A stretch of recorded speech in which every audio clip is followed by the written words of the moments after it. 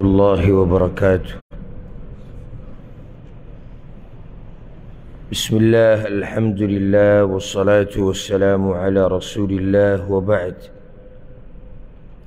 سورة العنكبوت سورة العنكبوت دا مكي سورة او په دې کې نه شپېته ایتونه دي او نهشتم صورت ته یو کم دیرشم د مصحف د ترتیب په اعتبار سره د نازلېدو په اعتبار سره پنځه اتیا نمبر صورت دی په دې کې غټه خبره دا بیان شوې ده مقصد د صورت هغه دا چې امتحانونه به راځي لازم به امتحانونه راځي چې پته د رښتیني مسلمان او د منافق ولګي او دغه شان چې امتحان راشي نو صبر بکې او ثابت قدم به وسی او بیر دغه خلکو انجام بیان شوی دی چې څوک په فتنو کې صبر کوي او په امتحاناتو کې موضوعات ته صورت د نوح علیه السلام قصه پکې ده د لوط علیه السلام قصه د ابراهيم عليه السلام قصه شعيب هود صالح موسى عليهم السلام او مؤمنانو ته ترغیب د هجرت ته چې هجرت وکړي چې کله د باندې ځمکه تنګ شي معنی خلک هم عبادت ته نه پریږدي اهل کتابو سره پکې باس شوی دی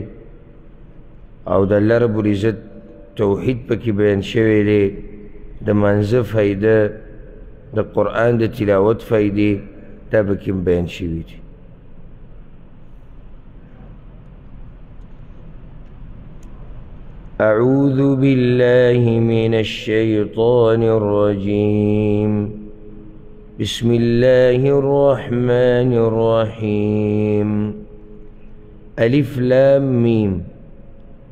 احسب الناس ان يتركوا ان يقولوا آمنا وهم لا يفتنون ایا ګمان کې خلک چې پری بخودې شي چې وای دوی مونږ ایمان راوړې دی او حال دا چې دوی باندې به با ازمیخ نشي کېدی یعنی د خلکو دا مطلب دی چې بس موږ به په خوله باندې ووایو چې موږ ایمان راوړی دی او ازمیښتونه به نه راځي ګوره سورة القصص کې الله یو څو امتحانونه ذکر کړي یو هغه امتحان چې راغلی د موسی علیه السلام په مور باندې دغه شان امتحان راغلی په موسی علیه السلام باندې او امتحان راغلی او په پیغمبر صلی الله علیه وسلم باندې چې هجرت یې کړی او د مکې نه وتی نو سورة العنکبوت شروع په دې خبرې سره وشوه چې ابتلا او امتحانات د برازي د الله طریقه ده نو ځکه الله وایي ولقد فتنا الذین من قبلهم او یقینا ازمیخ کړی دی موږ په هغه کسانو چې مخکې دي د دوی نه فلیعلمن الله الذین صدقوا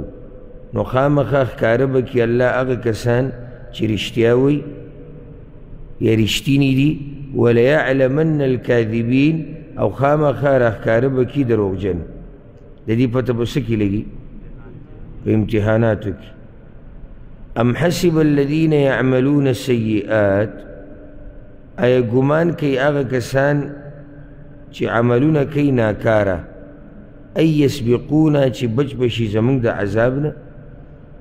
ساء ما يحكمون بد د هغه فیصله چې دوی کوي دلته الله مجرمانو ته زورونه ورکوي چې د دوی د لاسه خو په مؤمنانو باندې امتحانونه راځي د بيدینو د لاسه په دیندارو باندې سره راځي امتحان د بيدینه په خپل امتحان دی دی دیندار له نو الله وی چې د دوی خو د غوی د پر امتحان ګرځي خدا دې یاد کړي چې دوی هم د الله نه نشي تښتېدی او نه پټېدی شي من کان یرجو لقاء الله څوک چې امید ساتي د ملاقات د الله معنی دا چې څوک اخرت کې د الله ملاقات د الله د ملاقات امید ساتي نو لازم به په امتحانونه راځي من کان يرجو لقاء الله سوق چی امید ساتي د ملاقات د الله فإن أجل الله لآت نو یقینا نیټه د الله خامخا راتلونکې ده یعنی دا د دې خپل یو مقرر وخت چې هغه به راشي او دا د مؤمن ارماني د الله سره ملاقات هغه چې څه تیار کړي دي د مؤمن دپاره هغې سره ملاقات وهو السمیع العلیم او هغه اورېدونکی پوه دی ومن جاهد فإنما يجاهد لنفسه او چا چې ځان وکړو نو یقینا ځان کړی د خپلې فایدې دپاره د خپل ځان د پار امتحانونو کې صبر ته ضرورت دی ځان به کړی خو چې چا ځان وکړو نو فایدې خپله ده بله دا چې الله سره ملاقات امید ساتي نو ځان به کړی ان الله لغنی عن العالمین یقینا الله خامخا بې پروا دی د مخلوقاتو نه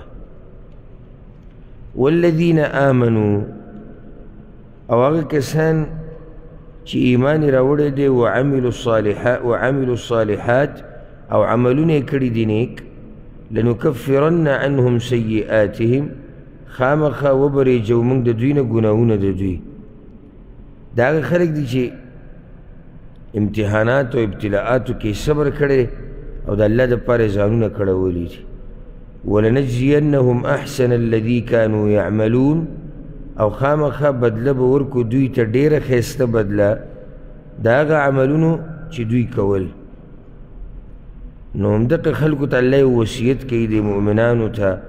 ووصینا الانسان بوالدیه حسنا او مضبوط حکم کړی دی موږ انسان ته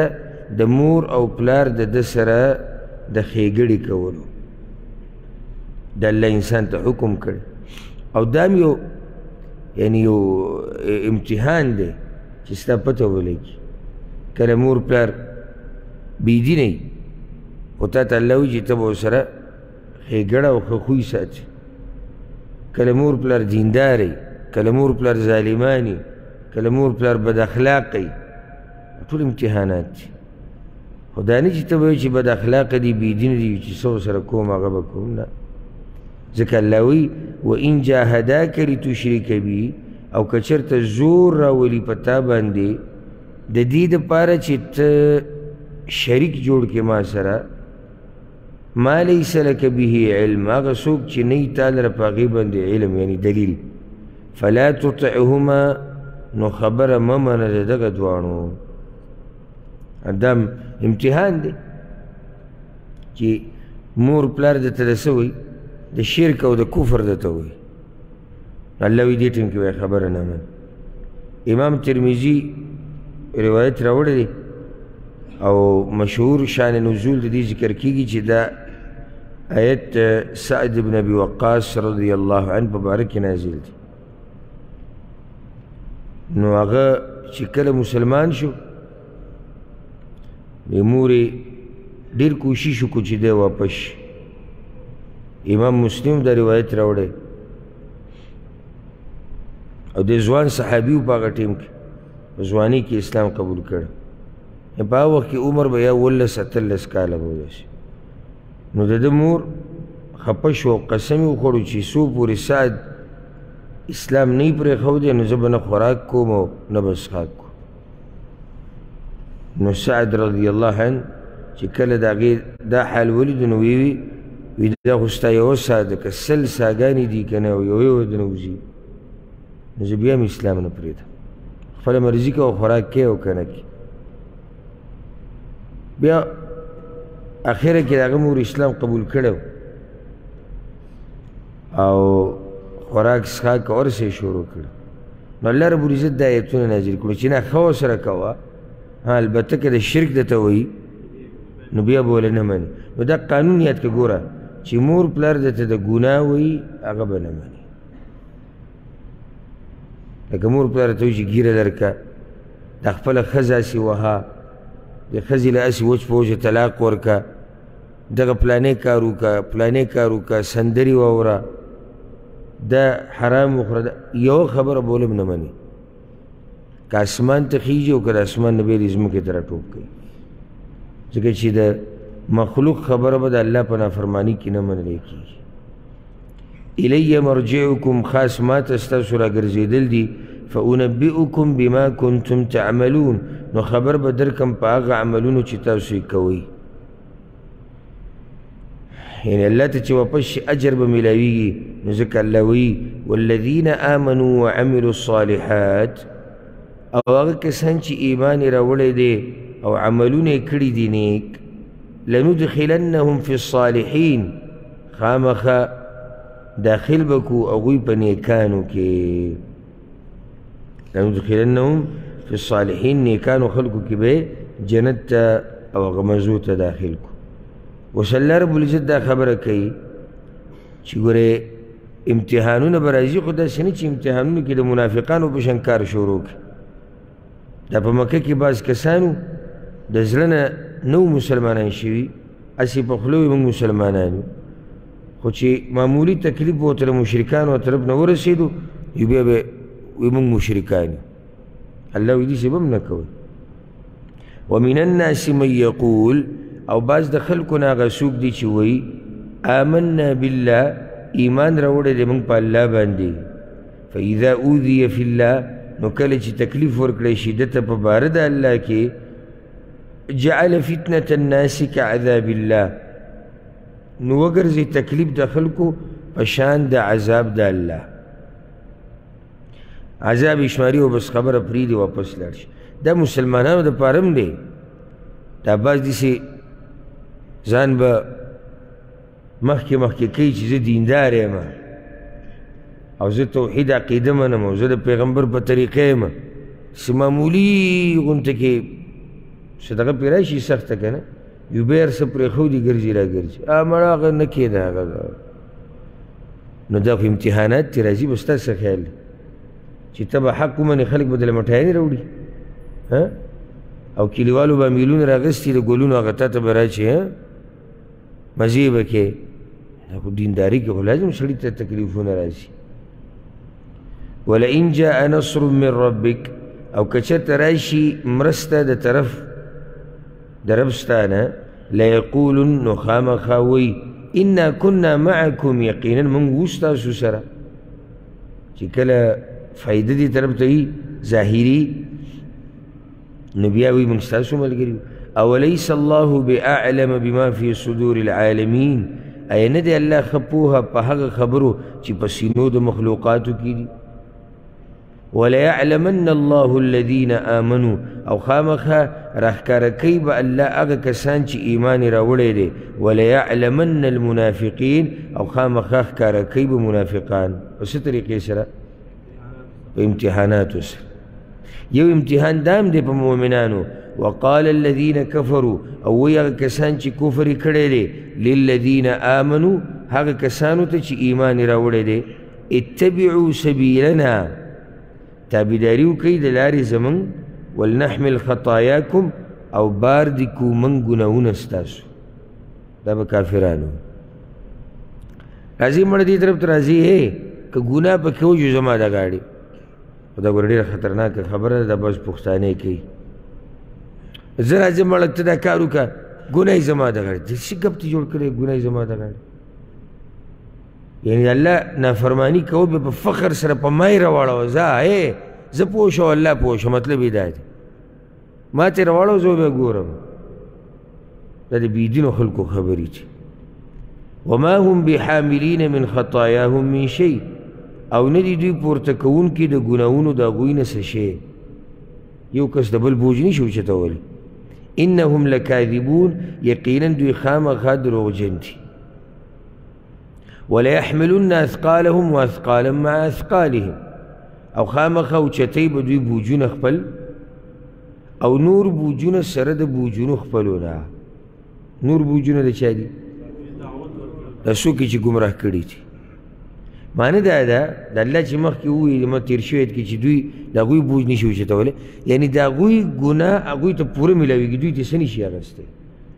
البته د دغه دعوت تلاسه په دوی باندې هم ګناه راوړي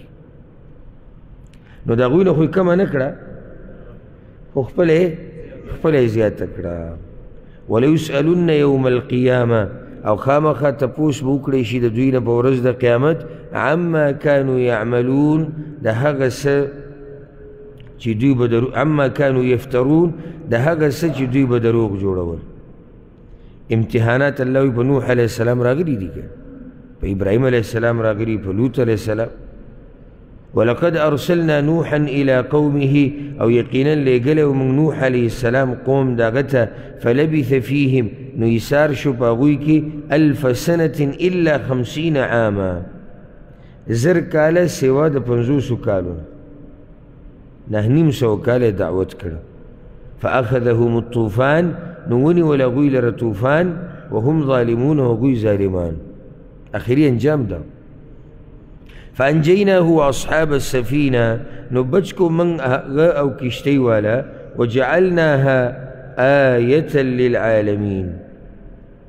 او وګرځول موږ د کشتۍ نښه د پاره د مخلوقات و ابراهیم او لېږلی و موږ ابراهیم علیه السلام اذ قال لقومه کله چې ووی قوم خپل ته اعبد الله بندگی خاص کوي د الله واتقوه ویریږئ د هغه نه ذلکم خیر لکم ان کنتم تعلمون دا کار غوره دی ستاسو دپاره که تاسو پوهیږئ انما تعبدون من دون الله اوثانا یقینا بندگی کوي تاسو سوا د الله نه د بوتانو معنی چې شکلونه دي تصویران دي بوتان دي تاسو په خپل لاسونو جوړ کړي د هغوی ته پراته وتخلقون افکا او جوړوي د دروغو کیسې لازم چې دا د دوی د حقانیت ثابتین هو څه دروغ مروغ خو به وایې که نه هسې خو نه ثابتېږي لکه څنګه چې زموږ د زمانې ده د باباګانو د پیرانو د قبرونو لپاره د روغ جوړېده به دا کوله وي د نور راکوز کړه نور یې راکته کړه او مهې پې سور کو بې بره کو او څوک یې کلمې راویستې او دس کې او څوک یې چې دی نو مازیګر مونځ ته لیټ کېدو نو نور ته وایي چې ته لږ صبر وکړه نو نور یې ولاړو یو هغه به کې خپل مونځ کو چې بیا نور کته شو نو په هغه ورځ نور لږ لیټ شي ډوبېدو دا دروغ دا قصې چې نه کړي نو دوی خواله څوک راځي نه ځکه ورته هغوی تاسو دروغ جوړوئ ټول ان الذين تعبدون من دون الله یقینا هغه کسان چې بندگی کوي تاسو سوا د الله نه لا یملکون لکم رزقا وس نه لري تاسو لره د رزق فابتغوا عند الله الرزق نو ولټوي د الله سره رزق رزق الله درک الله بندگی کوي واعبدوه او بندگی خاص کې غلره وشکرو له او شکر کوي داغا الیه ترجعون خاص هغه ته ورګرځول کېږي نو به بندگی سب داغه کوي وان تکذبوا او کچرته دروغجن غنی تاسو ما یو د چې بعض مفسرین وایي چې دا قول د ابراهیم علیه السلام دی یعنې هغه له لیږیا د خپل قوم ته او بعض وایي چې نه دا په دې قصې په دې منځ کې الله قریشو ته خبره کوي و ان تکذبوا کچرت دروغجن غنی تاسو ما یا پیغمبران فقد کذب امم من قبلکم نو یقینا دروغجن کړي ډیر امتونو مخکې تاسو نه پیغمبرانو لره وما على الرسول الا البلاغ المبين او نشتی په پیغمبر باندې مگر رسول ښکار دي دا کار سب دقت اولم يروا یعنی اوس دعوت دوی ته ورکړی کیږي چې راشي سوچ وکړي د الله په قدرتونو کې آیا دا الله نه دی قادر په دې باندې چې په دویم پیر د انسان راپاسي او دعوت دغه عقیدې طرف ته ورکوي بعث بعد الموت اولم يرو اي نه ګوري دوی کیف یبدئ الله الخلق ثم يعيده چې څنګه اول پیدایش کې الله به به دوباره کوي سوچ دی کې په دې مخلوقاتو چې الله اول پر څنګه پیدا کړی نو چې څنګه اول پر پیدا کړی دا شامه به پیدا کی ان ذلك على الله يسير یقینا دا کار په الله باندې آسان دی قل سیرو فی الارض اوس الله دا خبره کوي ووایه وګرځئ په ځمکه کې فانظرو کیف بدأ الخلق نو وګورئ چې څنګه یې شروع کړی دی پیدایش د مخلوق وګرځئ یعنې سوچ وکړئ عبرت والئ لاړ شئ د الله دې کائنات کې سوچ وکړئ چې څنګه د مخلوق پیدا کړی دی ثم الله ينشئ النشأة الآخرة بیا به الله پیدایش کوي پیدایش وروستنې وروستنې پیدایش کوي ویلي دویم پر راپاسېده ان الله على كل شيء قدير یقینا الله په هر شي قدرت لرونکی دی يعذب من يشاء ويرحم من يشاء عذاب ورکی چاته چې وغواړي او رحم کوي په چا چې وغواړي و الیه تقلبون او خاص هغه ته به ورګرځولی کېږي وما انتم بمعجزین فی الارض او نه تاسو عجز کوونکي الله لره په ځمکه کې ولا فی السما او نه په اسمان کې چې د الله نه وتښتئ په ځمکه او اسمانونو کې نشي کېدلی سي وما لکم من دون الله من ولي ولا نصير او نشتی تاسو لره سوا د الله نه څوک دوست او نه مددګار ولی او نصیر کې فرق بیان شوی مخکې یاد دی ته ولی چې د مصیبت د راتلو نه مخکې دی مرسته کوي نصیر مصیبت ته واقع کېدو نه بعد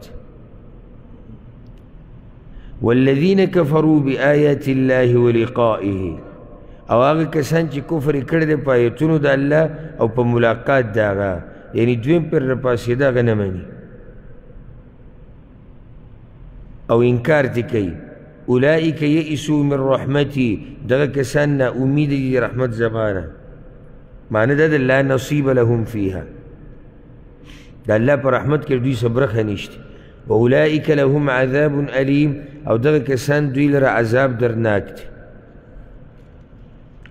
هنو ابراهیم علیه السلام ته قوم څه ویلو نو فما کان جواب قومه نو نو جواب د قوم دغه الا ان قالو مگر دا چې وی وی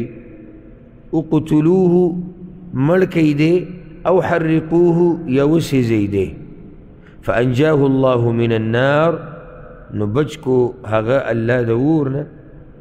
ان فی ذلک لآیات یقینا په دې کې خامخا عبرتونه دي لقوم یؤمنون د پاره دغه قوم چې ایمان راوړي وقال او ابراهیم علیه السلام انما اتخذتم من دون الله اوثانا یقینا نیولی دي تاسو سوا د الله نه معبودان یا بوتان مودت بینکم د پاره د محبت په من ستاسو کې فی الحیات الدنیا په جون دنیاوی کې داوت ابراهیم علیه السلام ناشنا خبر وکړه وی د تاسو چې د دې بوتانو نه معبودان جوړ کړی دي او غیر الله بندګۍ ته پراته نو تاسو تم پته ده چې دا طریقه زمون کمزوري ده خو دا خبره راښکاره کوي نه ځکه چې په دې کې ستاسو دنیوي فایدې دي او د دې د لاسه را جمع شوي یئ نو یریږئ داسې نه که چېرته موږ دا قصې شروع کړو نو زموږ په منځ کې به تعلقات ختم شي او زموږ دا رشتې به خرابې شي صرف د دې د لاسه را جمع شوي ډیرو باطل پرستو ته پته وي چې موږ په څه یو په باطل یو خو غږ نشي کولی ځکه وایي که څه وایو نو دا دی چې دا ورورولي به خرابېږي او بل دا چې څه دنیوي فایدې به پکې هغه به ګډې وډې شي نو هغه ته هم د قوي تاسو صرف دقې دپاره راجمع شوي ثم يوم القيامة يكفر بعضكم ببعض بیا به په ورځ د قیامت انکار کوي بعض ستاسو د بعضونه ویلعن بعضکم بعضا او لعنت به وي بعض ستاسو په بعضو باندې هلته به یې دا قیسې یو څو ځایونو کې مثالونه تیر شو که نه مشرانو د کشرانو ومأواکم النار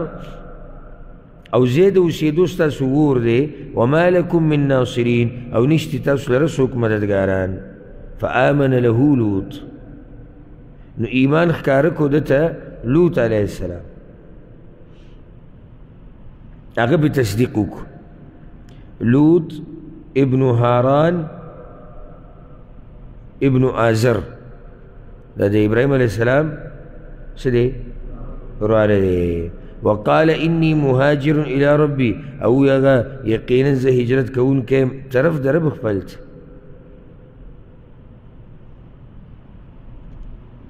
کیدی شي دا ضمیر په لوط علیه السلام باندې راځي یعنی لوط علیه السلام ویلو چې زه څه کوم هجرت کوم د ابراهیم علیه السلام سره خپل تر سره هجرت کړی او دا احتمال پکې شته چې ابراهیم علیه السلام ته راځي یې خبره د هغه روانه الغرض دوی هجرت وکړو لاړو شام ته د عراق نه چېرته لاړو شام ته لاړو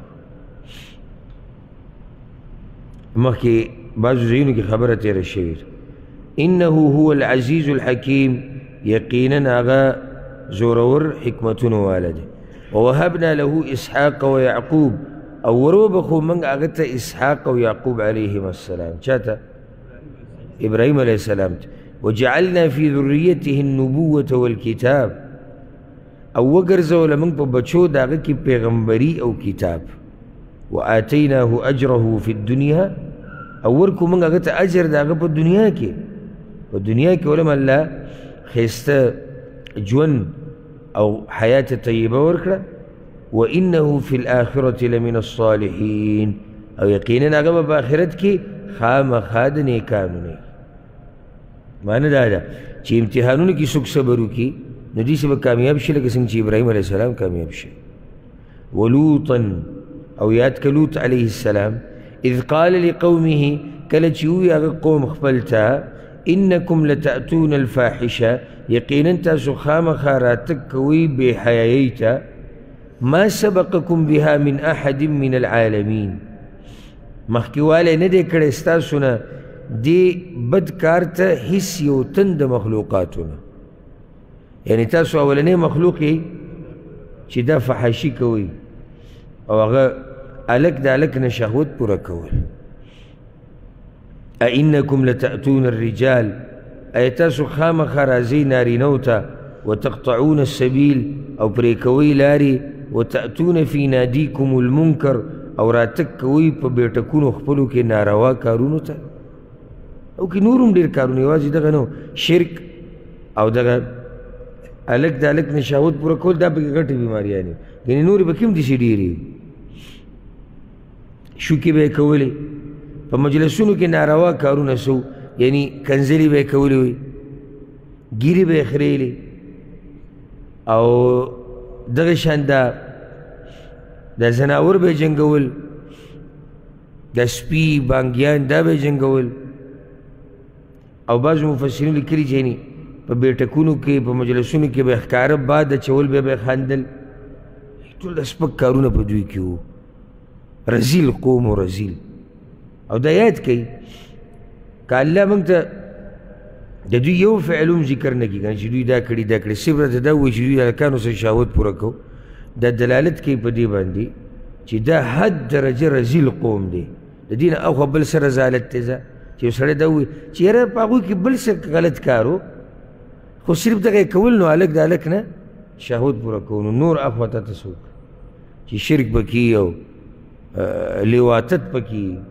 نو قصه ختمه شو سره د هغې به وکړي دا کارونه مو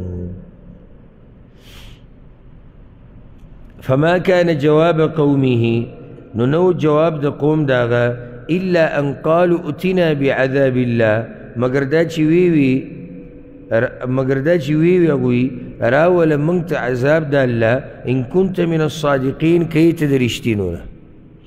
د عذاب دې راشي قال وی هغه رب انصرني على القوم المفسدين اے رب زما مرسته وکړه زما په مقابله د قوم فسادیانو کې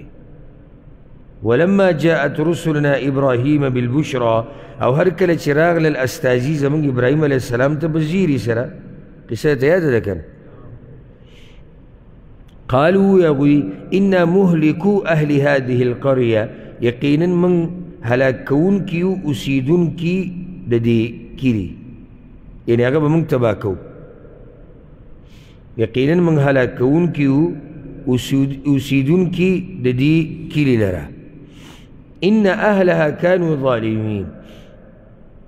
یقینا اوسیدونکي د دې کلي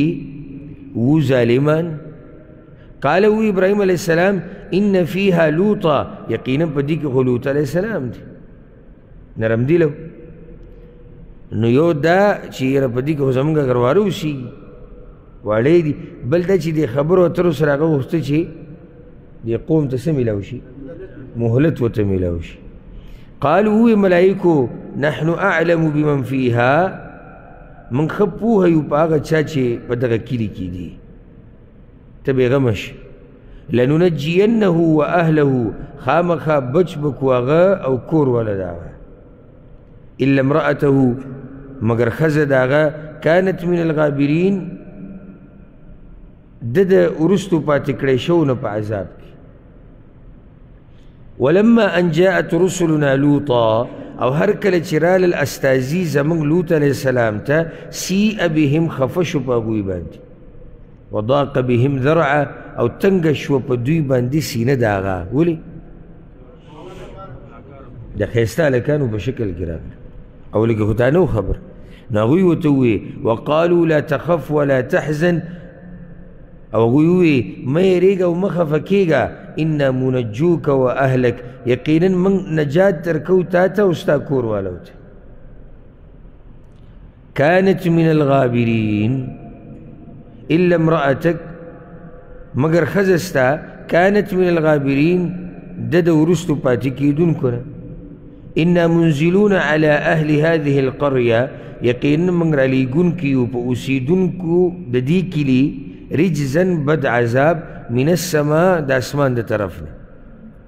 بما كانوا يفسقون په سبب د دې چې هغوی نافرماني کوله ولقد ترکنا منها آیة بینه او یقینا پرېښودو او یا او یا یقینا پرېښوده موږ د دې کلي نه نښه ښکاره دا کلي الله د ټولو دپاره څه وګرځو ښکاره نښه د عبرت لقوم یعقلون دپاره د هغه قوم چې د عقل نه کار اخلي هر چا دپاره عبرت هم نه دی چې سر کې کاڼي پراته وي که نه او نه زړه باندې سوچ کې او نه دماغ نو هغه به په دې کې څه دغه وکړي هېڅ عبرت یې نشي اخیستی نو امتحان په شعیب علیه السلام هم راغلی و الى مدین اخاهم شعیبا او لېږلی و موږ مدین والو ته رور د هغوی شعیب علیه السلام فقال نو ویوي یا قوم ای قوم زما اعبد الله بندگی خاص کوي الله لره ورجو الیوم الاخر او امید ساتئ یا یقین وساتئ د ورځ وروستنۍ ولا تعثوا في الارض مفسدين او مگر زی پزمکه کې فساد کوونکی فکذبوه ناغوی دروغجن وګڼو شعیب علیه السلام فاخذتهم فاخذتهم الرجفه نو راونی ولا غوی لره زلزلې چغې سره پې زلزله راغله او یو بل عذاب په دوی سو وریځې نه پې اور راتوی شوی فاصبحوا في دارهم جاثمين نو سبای کو په کورونو خپلو کې پړ مخې پراته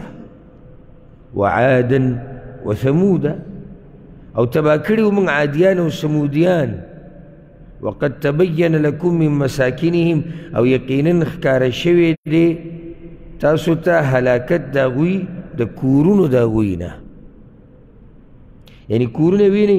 نو تاسو څه پته ولګي چې دا قوم الله تبا کړی چې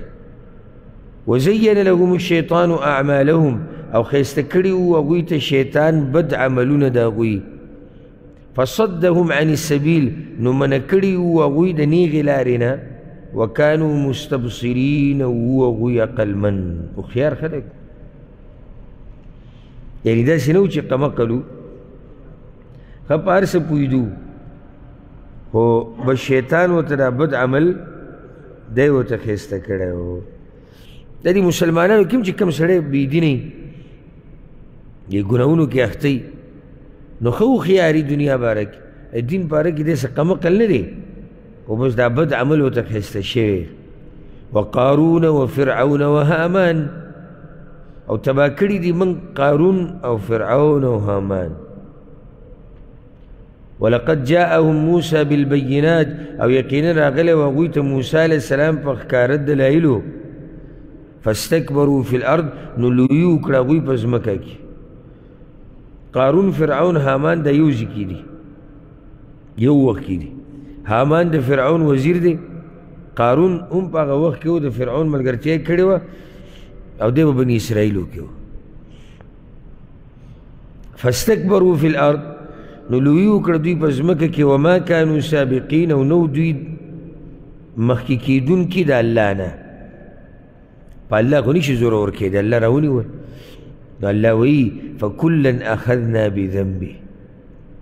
نو هر یو رانیولی او موږ په ګناه د هغه باندې هسې الله څوک نه رانیسي ګوره ښه بذنبه فمنهم من ارسلنا علیه حاصبا نو بعض د دوی نه هغه دي چې رالیږلی او موږ چې راولېږو موږ په هغه باندې باران د کاڼو دا څوک دي لوط علیه السلام قوم ومنهم من اخذته الصيحه او بعض د دوی نه هغه دي چې راونی ولا ګوی لره چغې چې دا څوک دي شعیب علیه السلام قوم صالح علیه السلام قوم ومنهم من خسفنا به الارض او بعض د دوی نه هغه څوک دي چې خخ کړل موږ په ځمکه کې قارون ومنهم من اغرقنا او بعض د دوی نه هغه دي چې غرق کړل موږ فرعونیان نو الله وی وما كان الله ليظلمهم او نو الله چې ظلم کړی وي په هغوی باندې ولكن كانوا انفسهم يظلمون مګر هو هغوی چې خپلو ځانونو سره ظلم کوو غټ ظلم هغوی څه کړی شرک یې کړی نو ځکه اوس د مشرکانو د معبودانو مثال بیانوي یا دا که څوک وایي چې یاره د الله په دې تباه کړو چې څوک باباګان به ورسره نه ونو څوک بوتان موتان به نو ځکه الله د دغه معبودانو مثال بیانوي مثل الذين اتخذوا من دون الله اولیاء مثال دا کسانو چې نیولی دي سیوا د الله نه دوستان یا مددګاران کمثل العنکبوت پشان د حال د جولا دی کمثل العنکبوت اتخذت بیتا چې نیولی د کور وان اوهن البيوت لبيت العنكبوت او یقینا ډیر کمزورې د کورونو نه خامخا کور د جولای یا د جولاګي دی نو پای کې دی یو کمزورې که معمولی پوکې دی ورکو یو الوزي نو دغه شان د دوی دا شرک دی که کیناستی ورسره او معمولی وضاحت ته یې وغوښتو نو د دوی قصه ټوله لاړه دړې وړې شو او بل دا جولا په کور کې دی چې اکثر هغه په خپل کور کې په خپل خلی عمرې پکې نو دوی په خپل قصو کې راګیر شي نو څه حقیقت یې نشته لو کانو یعلمون ارمان چې دوی پوی دی که چېرته دوی پوی دی نو دا کار به دا کار به نه وی کړی او دغه شان بعض علماو د دې مطلب دا دی څوک چې غیر الله ته چغې وایي لکه دوی چې د جولا د کور د تارونه نه دي د تارونه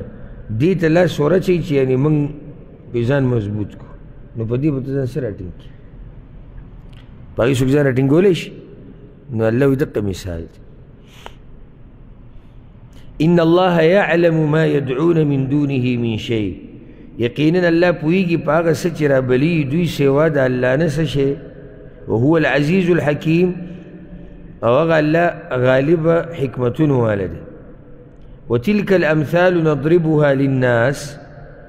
او دغه مثالونه دی بیانوي موږ د پاره د خلکو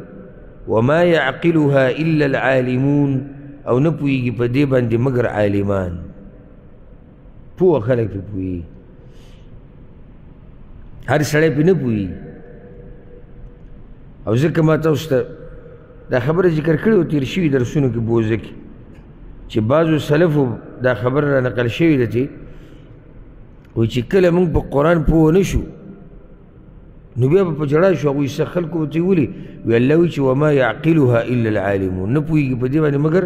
د علم خاوندان او چې موږ په دې مثالونو پوه نه شو نو معنی دا چې موږ پکې نه یو په بعضو باندې خو داسې اثر نه کوي دې سره ښه پیړېږي ویره ښه دی چې علم را سره نشته خو مسلمان حرسناک هوښیار په دې خبره سخت خفه کېږي چې کله د یو مسلې علم ورسره نه چې دا ولې زه په دې مسله نه یم پوه ولې زه دې مسله کې جاهل یم د هغوی د معبودانو کمزورتیا بیان شوه نو اوس الله خپل طاقت بیانوي خلق الله السماوات والارض بالحق پیدا کړی دی الله اسمانونه او ځمکه په حق سره ان فی ذلک لآیه للمؤمنین یقینا په دې کې خامخه نښه ده د پاره د مؤمنانو اتل ما اوحی الیک من الكتاب ولوله هغه چې وحی کېدی شي تا ته د کتاب نه یعنی مخکې الله خپل قدرت بیان کو اوس ته دغه الله سره د تعلق اسباب بیانیږي نو هغه سبب د الله په کتاب منګولې لګول او د منځه پابندي کول او الله یادول نو الله خپل پیغمبر ته وایي چې ته لوله هغه وحي چې تا ته شوي ده د کتاب نه یعنې قرآن نه پرېږده دوی دا قیسې واقم الصلاه او پابندي کوه د مانځه چا ته ویل ده پیغمبر ته وي نو زما او ستا ستا دپاره به پکې ګنجایي شي که نه ای دا خبره پیغمبر ته روانه وه کیدای شي دا هم یوه مسله راوباسي چې کوم د احادیثو نه منکر دي چې یاره دا مانځه دا خو چا ته یې ویلي دي پیغمبر ته یې ویلي پرون مې د الشیخ المفسر عبدالسلام الرستمي رحمه الله یو بیان اورېدو نو هغوی زما خواله یو راغلی منکر د احادیث وی خبرې اترې ما سره شروع کړې وی ما ورته چې لمونځ ته څنګه کې لکه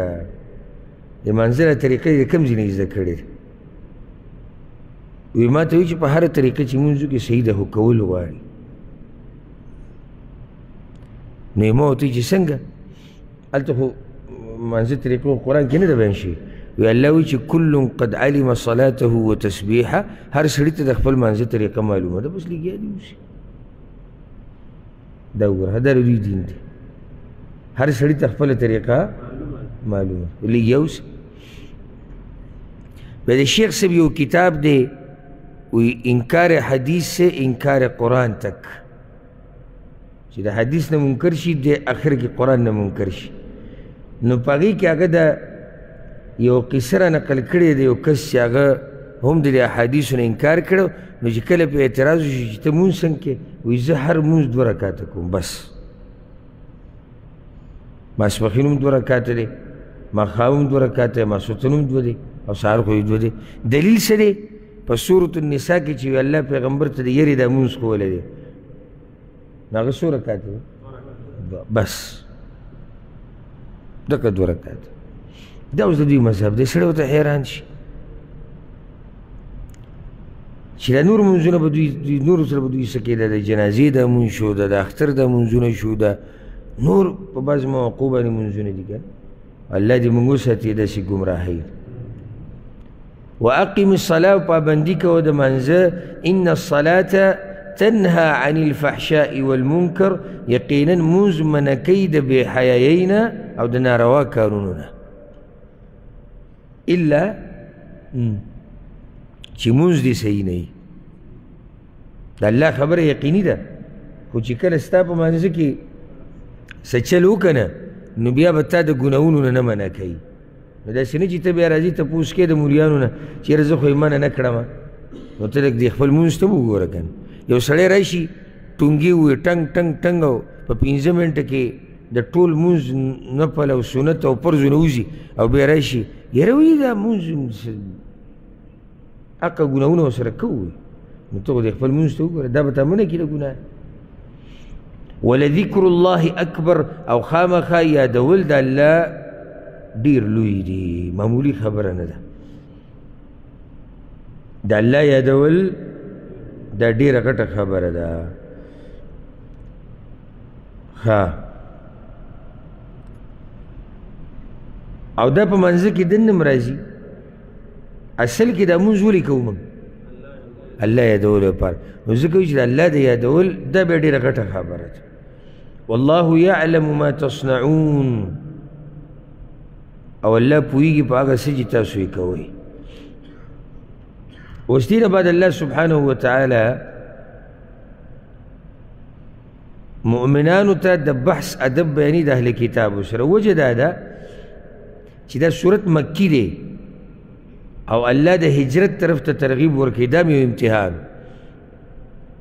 چې هجرت وکړي لاړ شي حبشې ته خو هلته به اهل کتاب مخې له راځي نو کېدای شي د هغوی سره څه راشي بحث راشي ولا تجادلوا اهل الكتاب الا بالتي هي احسن او بحث مکوي د اهل کتاب سره مګر په هغه طریقه چې هغه خیسته ده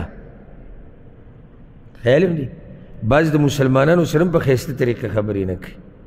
الله وی د اهل کتاب سره چې خبرې کوي په طریقه کوه الا الذين ظلموا منهم مګر هغه کسان چې ظلم کړی دی د هغوی نه کوم چې زدیان او عنادیان دي د هغوی سره به سختی کولی شي وقولوا آمنا بالذي انزل الينا وانزل اليكم او اوایي چې ایمان راوړی دی موږ په هغه څه چې نازل کړی شوی دی موږ ته او چې نازل کړی شوی دی تاسو ته و الهنا اله و الهنا و الهکم واحد او لایق د بندګۍ زمنګ او لایق د بندګۍ ستاسو یو دی و نحن له مسلمون او موږ هغه ته تابعدار یو بعض علما وایي چې یعنی الله مؤمنان ته تاسو مو خپل عقیده ښکاره کړي چې ګور زموږ د عقیده ده او امام ابن کثیر رحم الله ناشنا خبره ذکر کړې ده او د دې مطلب دا دی که چېرته په بحث مباحثه کې هغوی تا ته دې څه خبرو کې چې تا ته رښتینوالی او دروغ نه معلوم یاره دا خبره به رښتې او که دروغ وي نو هلته حدیث کې راغلي دي چې لا تصدقو ولا تکذبوهم یعنی نه به ورته رښتیا وې نه به ورته دروغ او تا سره علم نشتی نو بیا دا خبره وکړه چیرې زمون ایمان دې په هغه څه چې تاسو ته نازل شوي دي چې موږ ته نازل شوي ځکه دې کې خبره ټوله رااله نو څنګه چې الله مخکې کتابونه نازل کړي دي نو الله وي دغه شان ما تا ته هم کتاب درکړی دی وكذلك أنزلنا إليك الكتاب أو دغه شان نازل کړی دی موږ تا ته کتاب فالذین آتیناهم الكتاب نو هغه کسان چې ورکړی دی موږ هغوی ته کتاب یؤمنون به ایمان راوړي په دې قرآن باندې نو دغه څوک دي اهل کتابو کې چې کم دیندار خلک چې علما دي بعضو پکې ایمان راوړه ومن هؤلاء من یؤمن به او د دې کسانو نه هم هغه څوک شته چې ایمان لري په دې قرآن یعنی د مشرکانو کې هم شته چې ایمان یې راوړی دی وما یجحد بآیاتنا الا الکافرون او انکار نه کوي د آیتونو زموږ نه مګر کافران ناشکره خلک او د دې سوچ کې الله وی دې خبره کې وما كنت تتلو من قبله من کتاب او تا نه لوستو مخکې د دینه څه کتاب ولا تخطه بيمينك او نه دی لیکلی تا هغه کتاب په ښی لاس خپل سره یعنی نه تا لیکل کول نه دی لوستل کول نو بیا دوی څنګه شکیان کیږي او کچرته داسې شوی وی اذا لارتاب المبطلون په دغه وخت به خامخا شک کړی وی باطل پرستو یعنی چې په دې وخت کې شک کوي نو په وخت کې خو به به کولی کولی بل هو آیات بینات بلکې دا قرآن آیتونه دي ښکاره فی صدور الذین اوتو العلم په سینو د هغه کسانو کې چې ورکړی شوی دی ورته علم د قرآن الله داسې ساتلی دی داسې حفاظت یې کړی دی کې د شک څه مجال نشته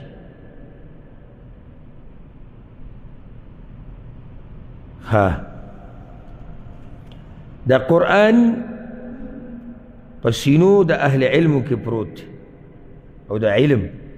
ځکه دغه سینې دا د قدر لایق دي او دا د احترام لایق دي او چې کله یو عالم هغه مړ شي او خاورو ته کوشي نو دا یو انسان یو جوسه خالی نه دی چې تا راغستې ده کېږي خو ده تا یو سینه د علم نه ډکه هغه دې په خاورو کې کېښوده بل دې کې شرف بیان شو عزت الله وی وی دا په سینو د اهل علم کې سم سړی دي چې الله د هغوی په سینو کې د علم ورچول څومره خوشحالي خبره یو سړی سینه د دنیا نه او د دنیا د قصو نه ډکه او یا د بېدینۍ نه او د سندرو نه او د فحاشۍ نه د ډمتوب نه د حرامو نه او د یو سړي سینه د قرآن او د حدیث سره ډکه شي وما یجحد بآیاتنا الا الظالمون او انکار نه کوي د آیتونو زمونږ نه مګر ظالمان همداقه ظالمانو یو مطالبه دا وه وقالو لولا انزل علیه آیات من ربه او وی دوی ولې نشي نازلېدی په ده باندې معجزات د طرف د رب د ده نه ولې د پیغمبر سره معجزه نه یعنی د دوی د تبي دا چې من کوم غواړو دي سولې نه راځي قل ورته وایا انما الآیات عند الله یقینا معجزات د الله په اختیار کې دي وانما انا نذير مبين او یقینا زیر ورکون کې احکاره ما زما کار خود کړ الله وی دوی نورې نښې سره غواړي اولم یکفیهم ایا نه ده پوره دوی لره انا انزلنا علیک الکتاب دا خبره چې یقینا موږ نازل کړی دی په تا باندې کتاب یتلا علیهم لوستلی کېږي په دوی باندې دا نه ده پوره په نورو معجزو څه کې ان فی ذلک لرحمه یقینا په دې کې خامخا رحمت ته و ذکر او نصیحت ته یا یادداشت ته لقوم یؤمنون د پاره دغه قوم چې ایمان لري قل ورته وایا کفا بالله بیني و بینکم شهیدا کافی دی الله په منځ زما او په منځ تاسو کې ګواه بس الله ګواه شو زما په کارونو او په خبرو هم او ستاسو په خبرو په کارونو هغه ته پته ده ستاسو د دې اعمالو ستاسو د دې سرکشۍ د دې تکبر د دې مطالباتو د دې ضد او د عناد آخرت کې وپته لګي ځکه یې ورته وویل یعلم ما فی السماوات والارض پوهېږي په هغه څه چې په اسمانونو او ځمکه کې دي والذین آمنوا بالباطل وکفروا بالله او هغه کسان چې ایمان یې راوړی دی په باطل او کفر یې کړی دی په الله اولئک هم الخاسرون دغه کسان هم هغوی تاوان واله دي چې پیغمبر به د آخرت نه ویرول او د عذاب نه هغوی به وخندل ویرا دي شي دغه عذاب کنه الله وی ويستعجلونك بالعذاب او پتا دی سره غواړي دوی ستانه عذاب ولولا اجل مسمى او کچرته نوې یو نیټه مقرره لجاءهم العذاب خامخ راغلی به وي دوی ته عذاب چې لیټ شوی دی څه د لاسه نیټې د لاسه وليأتینهم بغته او خامخ را به شي دوی ته ناڅاپي وهم لا یشعرون او دوی به نه پوهېږي یستعجلونک بالعذاب په تادی سره غواړي دوی ستانه عذاب و ان جهنم لمحیطه بالکافرین او یقینا جهنم خامخا راګیرونکی دی کافرانو لره نو ته صبر وکړئ همدغه جهنم ته به ځي تادی سره کوو یوم یغشاهم العذاب په کومه ورځ چې پټ به کړي دوی لره عذاب من فوقهم د بره طرف د دوی نه ومن تحت ارجلهم او د لاندې د خپو د دوی نه ويقول او وی بورتا ذوقوا ما كنتم تعملون وسکی سزا د هغه کارونو چې تاسو وکول نو سره تادی کوي را بشي ان چې اوس دا خبرې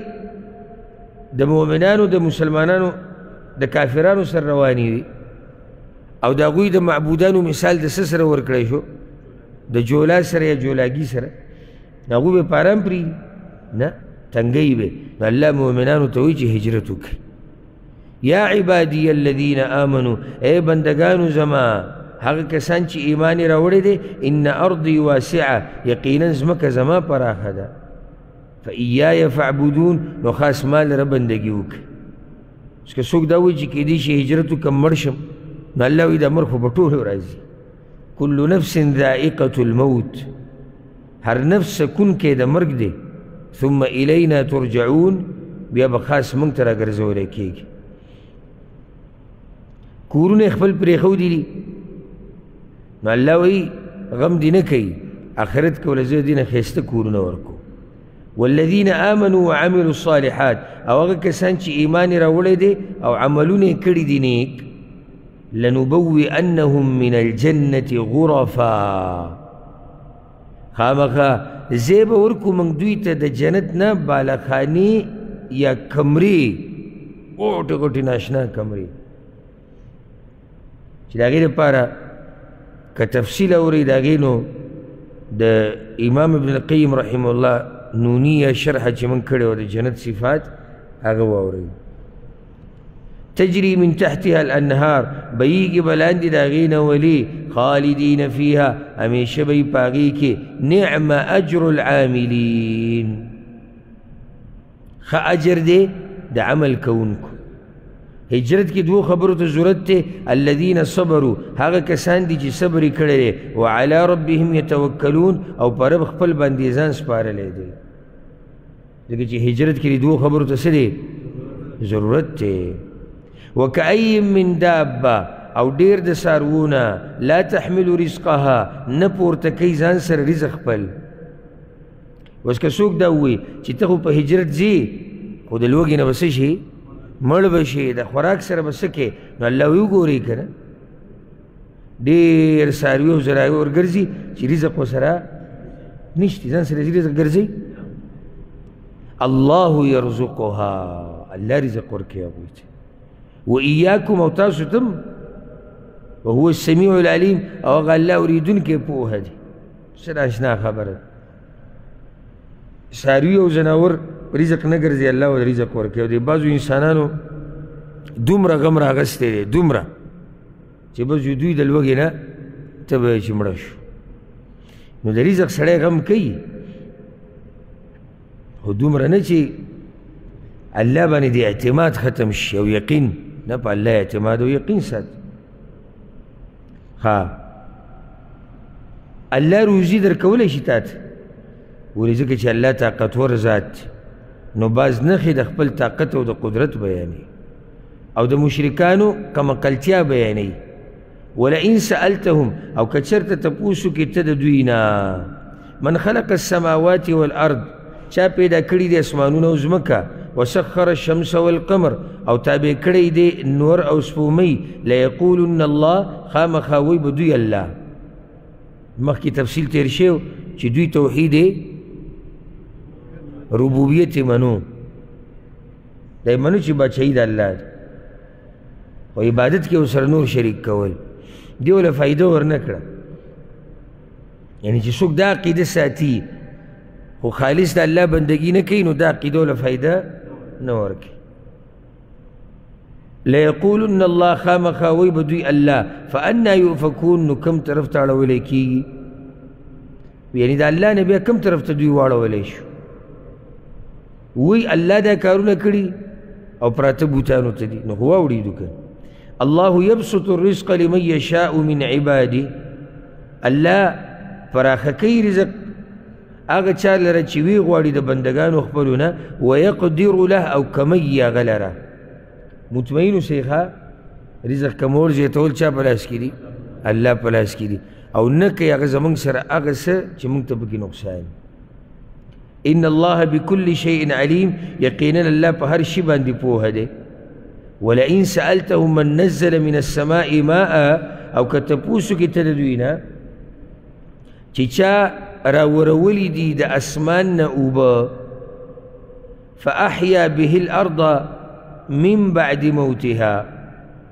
نو را ژوندی کړي د پاغي سره زمکه ورستو د وچوالي دا غینا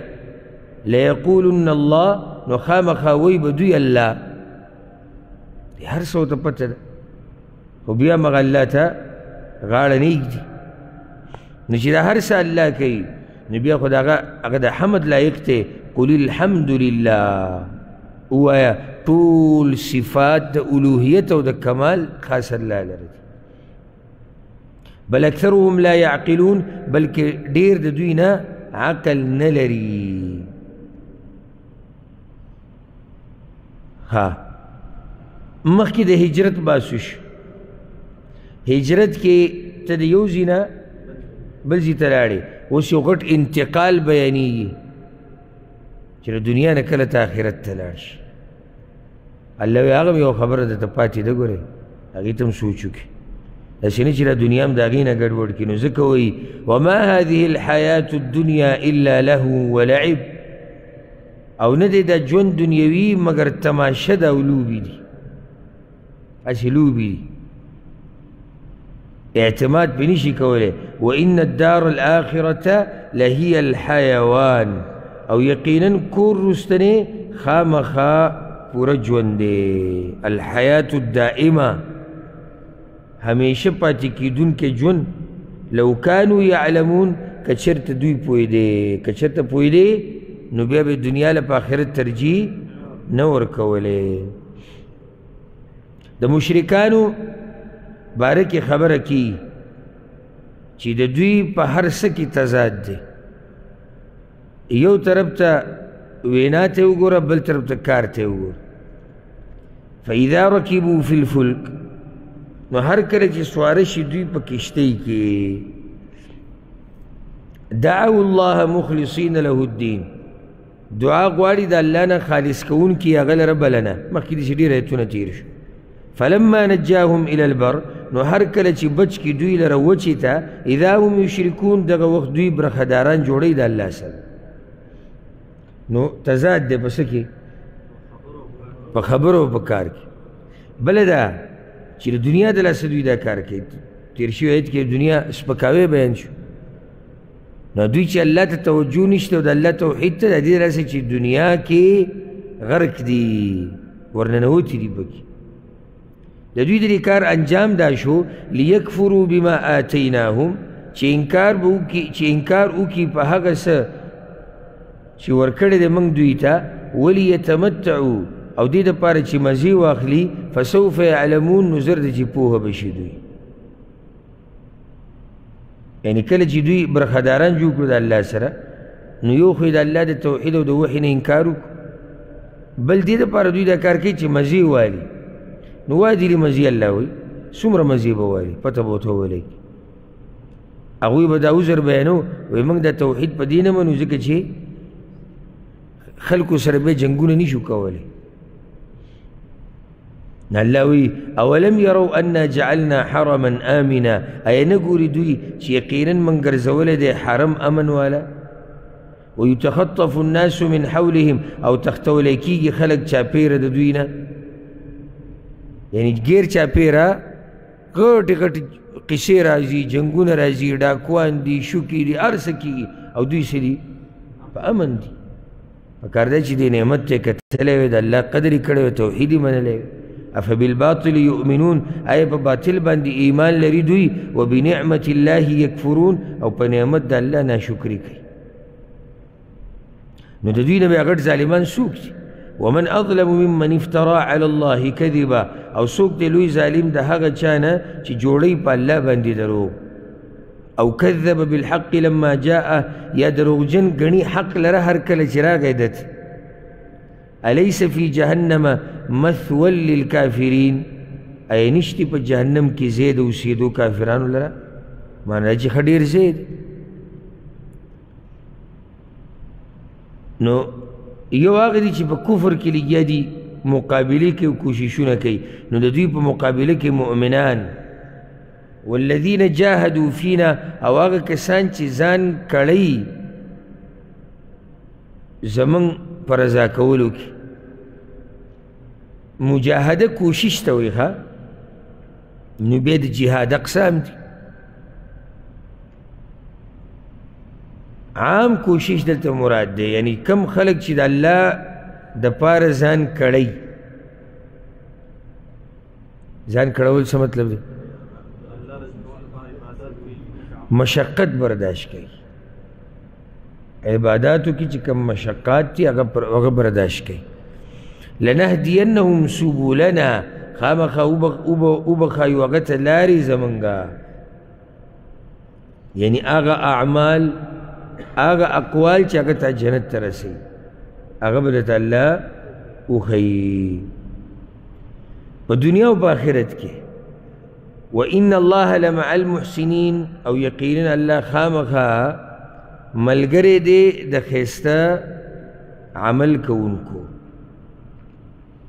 الله ملګری دی خیسته عمل کوونکو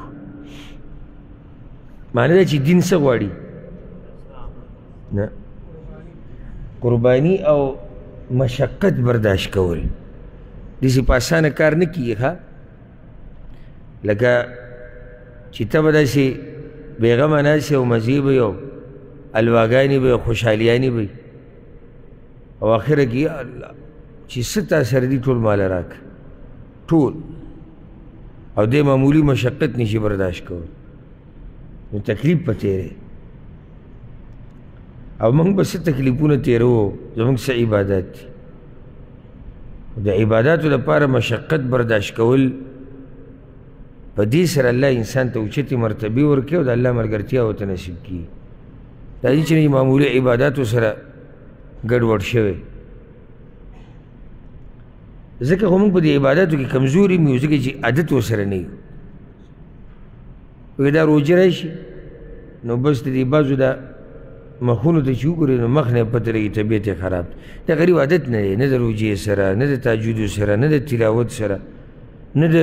په جومات کې د ډېرې ناستې سره نه دی عادت نو چې یک دم ته یو سړی راګیر کړي نو هغه به یې تېښتې لار ګوري چې دا زه اوس په کوم ځای کې ګیر شوی نو محنت به کوې مال به لګې بدن به لګې هر څه به قربانې هله به تا ته اوچته مرتبه میلاوي صورت اوله کې څه دي خلکو دا ګمان دی چې دوی به پرېښودی شي په دې خبره چې بس موږ ایمان راوړی نو آخره کې دا ووی چې چا دا ووی چې موږ ایمان راوړی دی کوشش وکړو دا خلک کامیاب دي یعنی امتحانونو کې صبر وکړو نو دا کامیاب دي سورة الروم سورة الروم مکی صورت ته شپږ رکوګانې دي شپېته آیتونه یې دي کې دېرشم صورت ته د نازلېدو په اعتبار سره څلور اتیا نمبر صورت دی مقصد چې سړی پکې سوچي کې نو هغه دا چې تصرف د کائناتو د احوالو او د احداثو د ټول د الله په لاس کې وځکه دې کې د توحید موضوع د ډېره په تاکید سره بیان شوی موضوعات هم د دغه توحید غیر چاپیره موضوعات په دې کې بیان شوي دي اکثر خبرې هغه توحید سره تعلق ساتي ځکه چې دا صورت څه دی مکی دی او مکی صورتونو کې دا غټه موضوع اوس اکثر چې کوم صورتونه روان دي دا مکی دي بسم الله الرحمن الرحيم ألف لام ميم غلبت الروم مغلوب کړی شو رومیان مختصر شان نزول رومیانو او د فارس ولومنس کې به جګړې راتلې فارس والا مشرکانو مجوسیانو کې او رومیان اهل کتاب او نصرانیان نو کله چې به فارسیان یا فارس والا په رومیانو زورور شو مشرکان به خوشاله ولي هغوی ملګري مشرکان واغم مؤمنانو په اهل کتاب خوشحالي دو نو دوی په منځ کې ډېره غټه جګړه رااله او پاغي کې غالب شو فارس والا پرومیانو باندې نو سخ خوشاله شو دا مشرکان او دیم وی وی دي سه وخر روان دي چې موږ په دې مسلمانانو زور ور کیو لکه څنګه چې زموږ رونه الته زور ور شو الله د آیتونو نازل کړو چې صبر وکړي سوخ کې با دوی مغلوب شي فارس والا او رومیان به په الله زور ورکی امام احمد یو حدیث راوړی د عبد الله ابن عباس رضی الله عنهما پکې دغه خبره کړې ابو بکر صدیق رضی الله عنه پکې شرط هم لګولی د مشرکانو سره ابو بکر صدیق رضی الله عنه چې دوی به د رومیان به بیا الله زوره ورکوي په په فارس والو باندې او شرط وسره لګول ابي ابن خلف هغه شرط هغه بیا وبیلو او الله رومیان زوره ورکړو بچا باندې په فارس والو باندې فی ادنى الارض په نږدې ځمکه کې یعنی عربو ته نږدې ځي کې وهم من بعد غلبهم سيغلبون او دوی ورستو د مغلوبیت د دوی نه زر د چې غالب کیږي فی بضع سنین په یو څو کلونو کې بضع په عربۍ کې ګوره البضع د د دریو نه نهو منځ کې چې دا کمشمارې دي ته په عربۍ کې بضع ویل کېږي او د روم چې الله په فارس باندې غالب کړو بیا دینه بعد نو نه کاله بعد په غالب شو نه کاله بعد لله الامر من قبل ومن بعد خاص الله لره پوره اختیار دی مخکې او وروسته مخکې د دغې جنګ نه وروسته د هغې نه هر وخت اختیار د الله دی ویومئذ یفرح المؤمنون او په دغه ورځ به خوشحاله شي مؤمنان بنصر الله په مرستې د الله سره ینصر من یشا مرسته کوي هغه چا لره چې وغواړي یا د هغه چا سره چې وی غواړي وهو العزیز الرحیم او هغه زورور رحم کوونکی دی وعد الله وعده کړې د الله یعنې دا خبره د الله لوز دی لا یخلف الله وعده خلاف نه کوي الله د وعدې خپلې نه ولكن اکثر الناس لا يعلمون مګر ډېر د خلکو نه نه پوهېږي په دې خبره نو رټنه دغه خلکو ته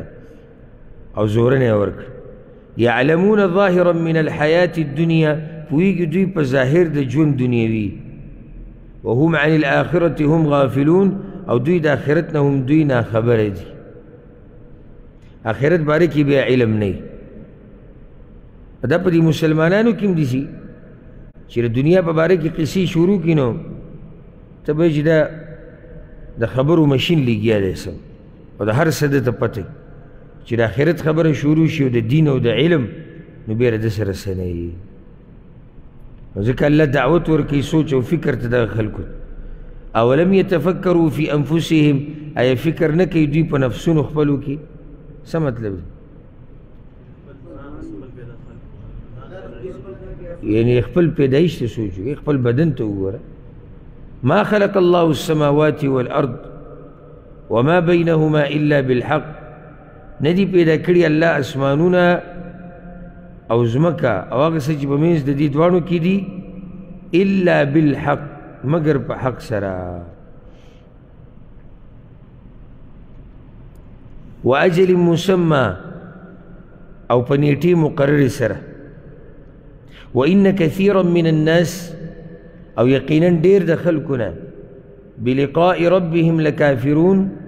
د ملاقات د رب خپل نه خامخا منکر دي سره د دې دومره دلایلو په کائنات کې اولم یسیرو فی الارض ایا نه ګرځي دوی په ځمکه کې فینظرو نو چې وګوري کیف کان عاقبة الذین من قبلهم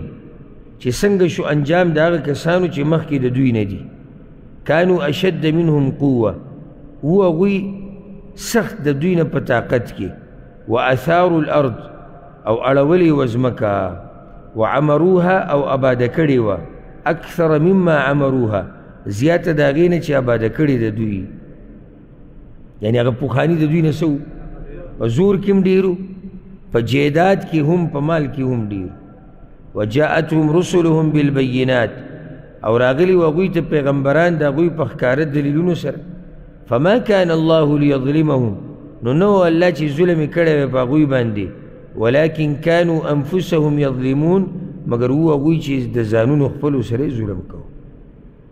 او الله خو سره ظلم نه کوي الله خو پیغمبران هم لېږلي دي بالبینات په ښکاره دلایلو سره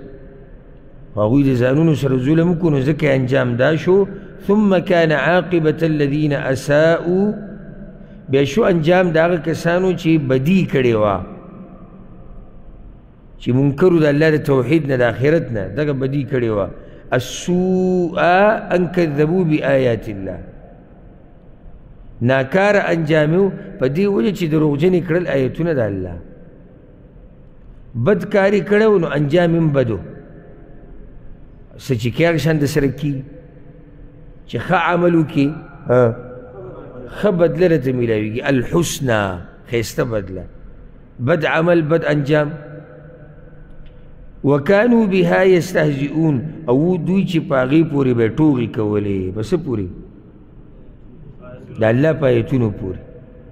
دوی به ټوغې کولې نو اوس مخکې ووي که نه الله چې په دویم پیر به الله تاسو را پاسي خو ډېر خلک دي سړي دي اتم آیت کې وګوره بلقاء ربهم لکافرون چې د ملاقات د خپل رب سره دین منکر دي ير دویم پر پاسې دي نشته الله داغي خبره کوي الله يبدأ الخلق ثم يعيده الله ابتدایي پیدایش کوي او بیا به دوباره کوي په بل پیر به بیا کوي ثم الیه ترجعون بیا به خاص هغه ته ورګرځولی کېږئ تاسو نو په کومه ورځ چې ورګرځئ به تاسو هغه ته د هغه ورځې خبره کوي ویوم تقوم الساعه او په کومه ورځ چې قایم شي قیامت یبلس المجرمون نا امید بشي مجرمان د هر خیر نه به نه امید شي د هغه خپلو یارانو بوتانو د هر څه نه به نه امید شي ځکه الله وایي ولم یکن لهم من شرکائهم شفعا او نه به یي دوی لره د برخدارانو د دوی نه سفارشیان وکانو بشرکائهم کافرین او شی به د شریکانو خپل نه منکران انکار به وکړي ويوم تقوم الساعه يومئذ يتفرقون او په هغه ورځ چې قایم به شي قیامت په دغه ورځ به دوی جدا جدا شي بېل بېل به شي څوک جهنم ته څوک جنت ځکه امام قتاده رحمه الله به وي وی په الله مې دې قسمي دا هغه جدا کېده دي التي لا اجتماع بعدها چې د دې نه بعد بیا یو کېده نشته او ځکه غټ بیلتون دا نه دی چې یو سړی مړ شي دنیا نه لاړ امید دی چې آخرت کې جنت کې به سره ملاقات وکړي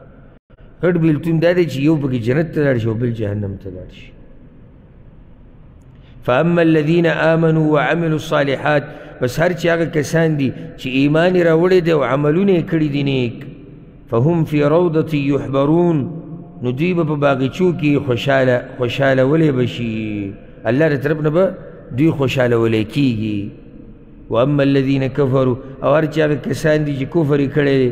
وکذبو بآیاتنا او دروغجنې ګڼلې دي آیتونه زمونږ ولقاء الاخره او ملاقات د آخرت فاولئک فی العذاب محضرون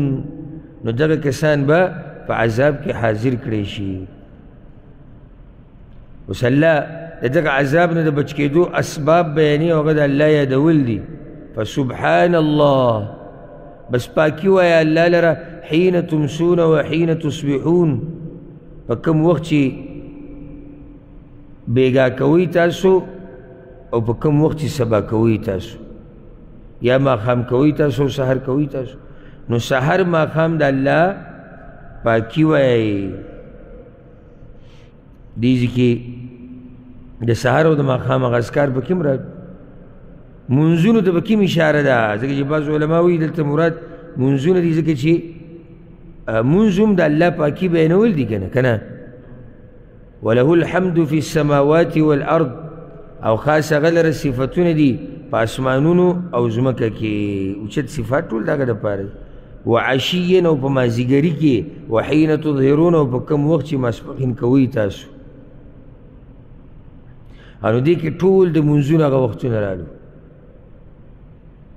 اوس دغه وختونو تفصیل اب کوم ځای کې معلومه هغه به په حدیثو کې یخرج الحی من المیت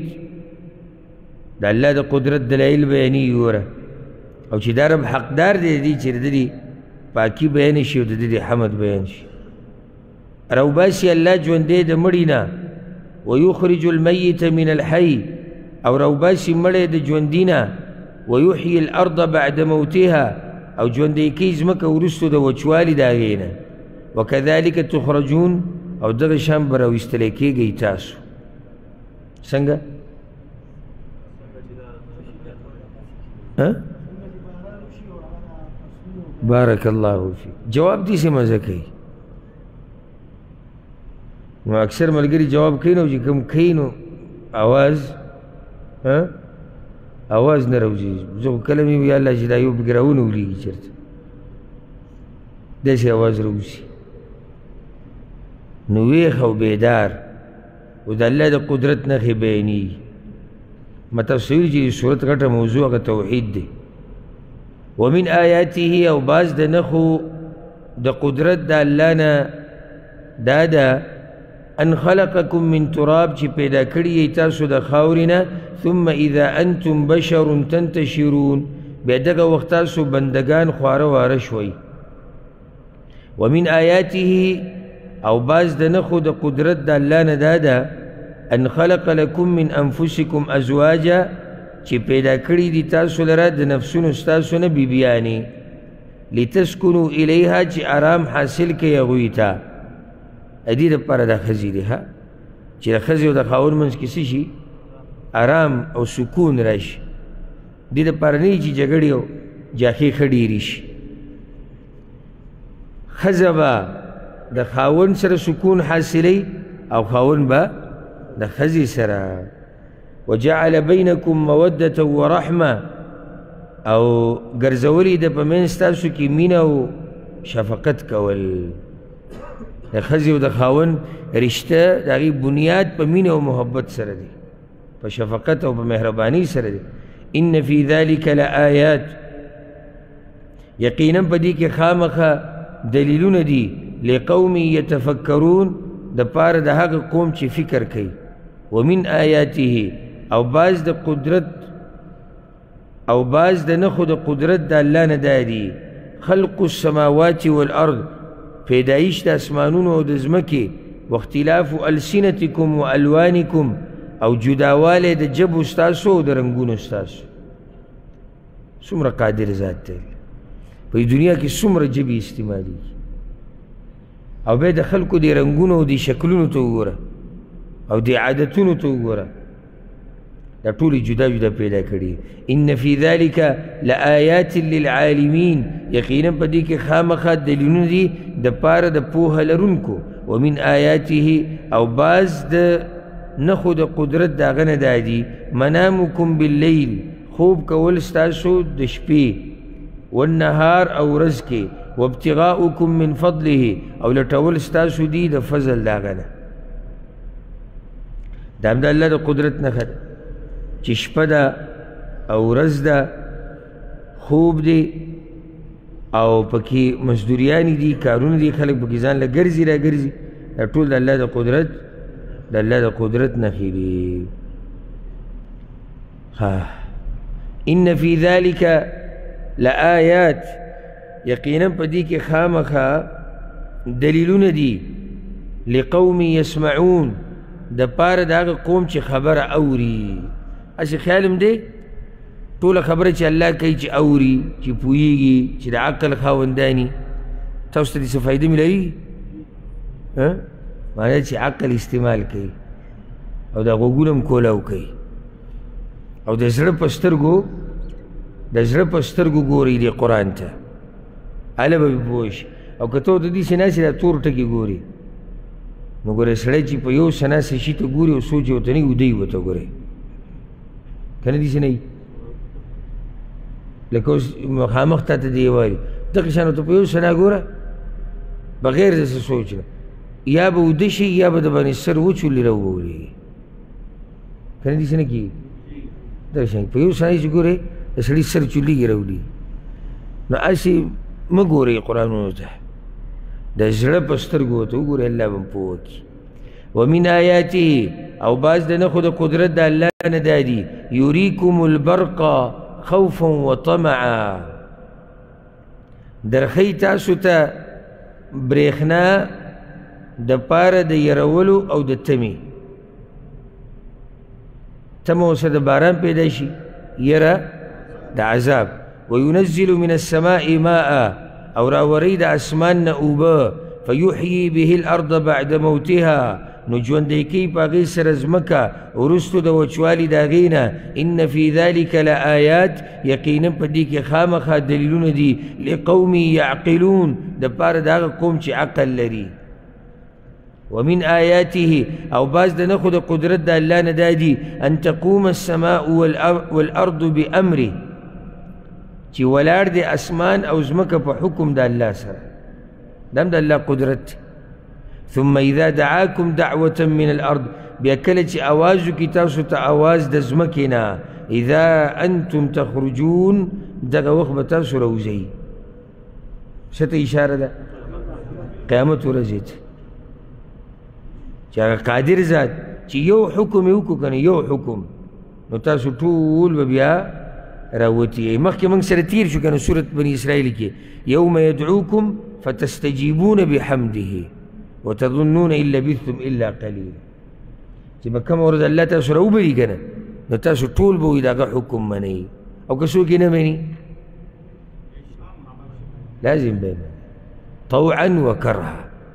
که دې خوښه یې وکړي نه خوښه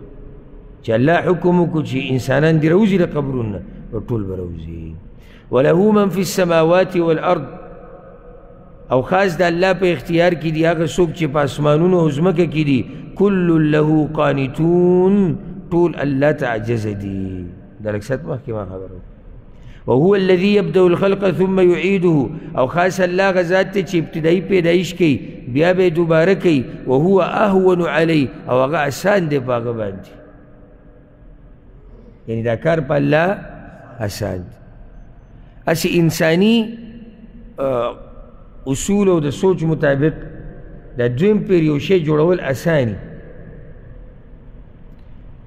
اگر که د الله سره آسان ګران نه دي الله د پر ټول څه څه دي هر څه آسان دي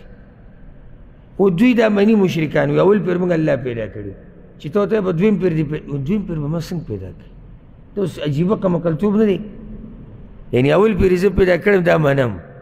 بیا به مې پیدا کړي دا څنګه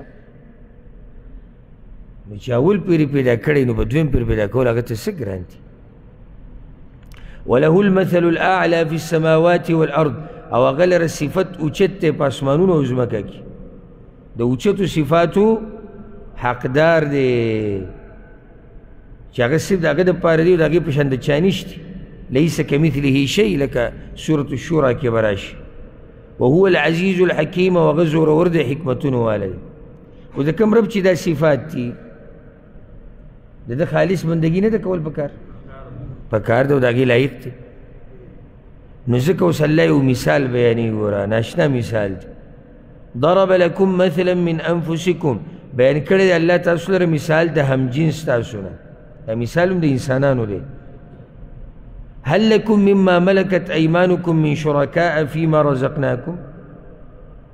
ایشته تاسو لره د هغه چا نه چې مالکانی دي ښی لاسونه ستاسو برخداران په هغه مال کې چې درکړی دی موږ تاسو ته چې مالکانی دي ښی لاسونه د څوک دي مری مری یا غلام یا وینځه اوس د مثال حاصل دا دی ګوره الله وی وی که ستاسو یو غلام وي حالانکه هغه دی ستاسو په شان ځناور دی انسان تاسو دا خوښوئ چې دا کم رزق چې الله درکړی دی کم مال چې درکړی چې دې کې تاسو ځان سره د غلام شریک کړئ او هغه له داسې تصرف ورکوي لکه څنګه چې تاسو کوئ او داسې ته یېرېږئ لکه څنګه چې د آزاد انسان د تصرف نه یېرېږئ نو ټول وایي چې نه نو الله وایي چې د ځان سره د ځان په شان انسان نه شریک کې او زه خالق یم ما سره مخلوق شریک کې یو ښکلی مثال خو مخکې تیر شو که چې دې کې د عقل خاوندان سوچ کې او دا خبره اوس بیا هم راځي فانتم فيه سوا بچی تاسو شی پاغي کې برابر تخافونهم کخیفتکم انفسکم چې یریږي تاسو د هغوی نه په شان د یری ستاسو د ورونو ستاسو نه کوم وروڼه آزاد شریک نه سړی یریږي که نه چې تاسو د هغوی نه به داسې یریږي ځکه چې ویره د مرۍ ما سره شریک شوی دی نو هیڅوک یې نه مني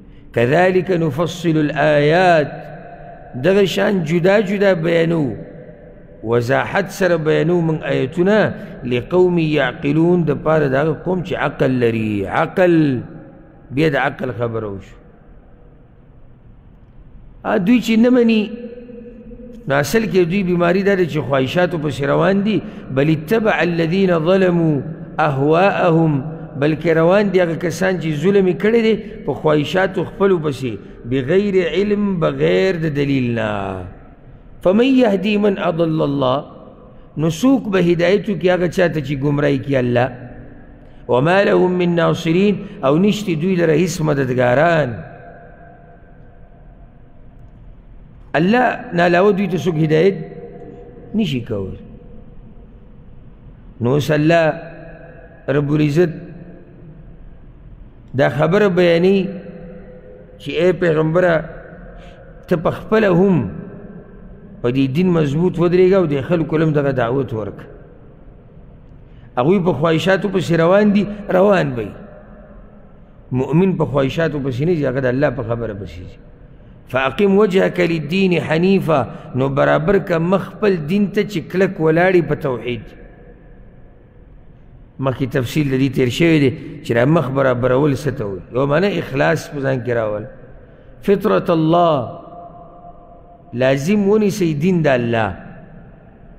د فطرت ډېرې معنی دي یو خو واضح ذهن ته راځي ذهن ته کومه معنی راځي فطرت فطرت چې په کوم باندې انسان پیدا شوی یو دا فطرت معنی دا چې الله دې خلکو له فطرت ته توحید ورکړی دی نو الله وایي دقه فطرت مضبوط راونیسي او حدیث کې راځي صحیح مسلم کې دی انی خلقت عبادی حنفا ما خپل بندگان الله وی موحدین پیدا کړو خو شیطانان رالو او دوی د دین نه واړول نو هم دقه د توحید د فطرت چې دی الله وی دغه مضبوط راونیسي یو قول دا چې فطرت د الله پیژنګلو ته وایي یو دا چې د الله دین ته وایي دا ټولې خبرې پکې راځي نو فطرت الله لازم ونیسئ دین د الله التي فطر الناس عليها هغه چې پیدا کړي دي خلق په هغې باندې لا تبدیل لخلق الله نشتی بدلول د دین د الله لره ځان نه پکې ګوتې نشي والی بل دا چې نشتی بدلول دغه فطرت لره چې الله پې ته پیدا کړی دا مو بدلول الله وګ فطرت ته سری توحید درشان بل معنا نشتی بدلول هغه پیدایش لره په کم پیدایش کې چې الله ته پیدا کړي یعنی د ځان نه پکې ګوتې مو سړی چې څنګه الله پیدا کړی د حق شان دی او ښځه چې الله څنګه پیدا کړی د هغه شان دی ښځه دې د ځان نه سړی نه جوړوي سړی دې د ځان نه ښځه نه جوړوي ذلك الدين القيم دا دین مضبوط دی ولكن اکثر الناس لا يعلمون مګر ډیر د خلکو نه نه پوهیږي منیبین الی شی رجوع کون کی هغه ته الله ته رجوع کون کی شی ها بعض علماء دا ویلي دي وی منیبین الی دا د الناس سره تعلق ساتي هغې حال دی یعنی الله دا خلق پیدا کړي دي په فطرت باندې چې هغې ذکر وشو هغه توحید دی او پیدا کړي دي داسې چې الله ته رجوع کوي او دویم قول دا دی چې معنی دا ده منیبین الیه یعنی شی رجوع کوونکي الله ته واتقوه وویریږئ د هغه نه واقیمو الصلاه او پابندي کوئ د مانځه ولا تکونو من المشرکین او مه کېږئ د مشرکانو نه چې مخکې د هغوی ذکر وشو چې هغوی د خواهشاتو تابعداري کوي من الذین فرقوا دینهم د هغه کسانو نه چې تس نس کړی دی دین خپل وکانو شیعه او شوي دي ډلې ډلې تاسو به د هغوی په شان نه کېږي معنی دا چې الله اختلاف نه دی خوښ ځکه چې که ته کفر ته وګورې نو یو ډله ده ډلې ډلې دي الله تاسو به د هغوی په شان نه کېږي کل حزب بما لديهم فرحون هر ډله په هغه څه چې د هغوی سره دي خوشحاله ده نو اوس د انسان حال بیانی چې بعض انسانان ډیر خود غرضه او بے وفا دي د الله د دې نعمتونو باوجود هغوی د الله احسانات نه مني دا بس و اذا مس الناس ضر او کله چې ورسیږي بعض خلکو ته تکلیف دعو ربهم منیبین الی رابلی رب خپل چې رجوع کوونکي هغه ته ثم اذا اذاقهم منه رحمه بیا کله چې وسکي دوی ته د خپل طرف نه رحمت اذا فريق منهم بربهم يشركون دغه وخت یو ډله د دوی نه د خپل رب سره برخداران جوړي مخکې د مشرکانو خبره وشوه چې هغوی خپل خپلو کې هم ټول هر څه تس نس کړي دي نو اوس دلته بیاني چې دوی دا طریقه هم ده چې چغې وایي الله ته چې یا الله د مصیبت نه وباسه چې الله پرې رحم وکړي نو بیا شرک شروع کړي انجام یې دا شي لیکفرو بما آتیناهم چې ناشکري وکړي د هغه نعمت چې ورکړی دی موږ دوی ته فتمتعو نو مزی واخلی د دنیا فسوف تعلمون نو زر د چې پوهه به شئ حقیقت د هر څه به تاسو ته راښکاره شي چې کله د باندې مرګ راشي یا کله د باندې عذاب راشي ام انزلنا علیهم سلطانا اي نازل کړی دی موږ په دوی باندې څه دلیل فهو يتکلم بما كانوا به یشرکون بچی هغه دلیل دوی ته خبرې کوي په هغه څه چې دوی د الله سره شریک کوي یعنی الله وی دوی چې شرک ته واپس شو نو آیا په دې د دوی سره څه دلیل شته چې هغه دلیل دوی ته دا خبره بیانوي چې ستاسو دا شرک څه دی ستاسو دا شرک صحیح دی خو نشته ورسره دلیل وإذا أذقنا الناس رحمة او کله چې وسکو من خلکو ته رحمت یعنی څه نعمت څه خوشحالي هر څه چې دي فرحو بها تکبر کوي په هغې سره دا خوشحالي د تکبر ده وإن تصبهم سیئه او کچری ورسیږي دوی ته بدحالي بما قدمت ایدیهم په سبب د هغه عملونو چې مخکې لیږلي لاسونو د دوی اذا هم یقنطون نو دغه وخت دوی نا امیدي کوي دا د انسان حال دی د ډیرو انسانانو چې الله ولا نعمتونه ورکړي نو څه پکې پیدا شي تکبر پیدا شي او چې معمولی سخته پې راشي نو د الله نه نا امیده شي د کوشش کوي چې د دې صفاتو نه ځان لرې ساتي مخکې تېر شوي دي سورت هود کې ګن چې کله به الله رحم وکړي نو د چغې وایي ذهب السیئات عني زما نه خو امتحانات ختم شو عذابونه نه راځي انه لفرح فخور او تکبر کې شي نه نه مؤمن هر حال کې د الله شکر ادا کوي چې سخته پرې راشي صبر کوي د الله نه ښه امیدونه ساتي او نعمتونه چې ورله الله ورکړي نو څه کوي شکر ادا کوي شکر او د نعمتونو نسبت الله ته کوي داسې کار نه کوي لکه قارون چې کړی پرون د هغه قصه تېره شو د دې الله نه دوی نه امید کیږي حالانکه نه ده پکار ځکه چې رزق خو د الله په لاس کې دی اولم یرو ایا نه ګوري دوی ان الله یبسط الرزق لمن یشاء چې بېشک الله پر اخی رزق چا در چې وغواړي او یقدر او تنګي نو چې تنګي کوم هغه الله تنګ کړی نو من امید کېږم او چې پراخه کې نو هم هغه الله پراخه کړی نو تکبر مه کوه ان فی ذلک لآیات لقوم یؤمنون یقینا په دې کې ډېر دلیلونه دي د پاره د هغه قوم چې ایمان لري نو د رزق د پراختیا خبره وشوه نو الله وی که رزق دې پراخه جوی لګوه فآت ذا القربى حقه نو ورکوه خاوند خپل ولی ته حق داغه حق د هغه د خپلولۍ یعنی د هغه چې کوم په تا باندې حق دی هغه پوره پوره ادا کوه والمسکین او مسکین ته وابن السبیل او مسافر ته ذلك خیر للذین یریدون وجه الله دا کار غوره دی د پاره دغه کسانو چې اراده لري د مخ د الله څه مطلب دی رضا د الله یو دا مشهور تفسیر بل دیدار دیدار د مخ د الله چې څوک دا غواړي چې الله د مخ دیدن وکړو نو د هغوی دپاره دا کار غوره دی واولئک هم المفلحون او دا کسان هم دوی کامیاب دي وما آتیتم من ربا او هغه څه چې تاسو یې ورکوئ چې د سود نه یي ليربو فی اموال الناس دې د پاره چې زیات شي په مالونو د خلکو کې فلا يربو عند الله نو نه زیاتېږي د الله په نس اوس ګوره دا ترجمه ده خو چې صرف ترجمو کې څوک پوهېږي نه د دې مشهور تفسیر هغه دا دی اسان دی سړی به پوهېږي چې کله سوچ وکړي وکړي عبدالله ابن عباس نه نقل دی چې یو هغه بل سود دی هغه پیسې پیسو کې او تجارت کې سود کیا جدا خبره دلته د دې سود نه مراد هغه سود دی چې یو سړی چاله په دینیت باندې یو هدیه یو تحفه ورکوي چې سبا له ولدې د دې نه زیاته ورکړي دا هم سود دی که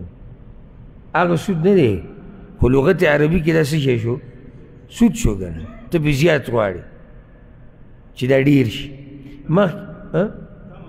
تمه مخکې الله وی چې د خپلوانو سره ښه کوه نو اوس وی که ته په دې نیت کې چې زه به دوی له یو څه شی ورکړم نو دوی به د هغې نه زیات راکړي نو په دې څه اجر نه میلاوېږي در الله سره نه زیاتېږي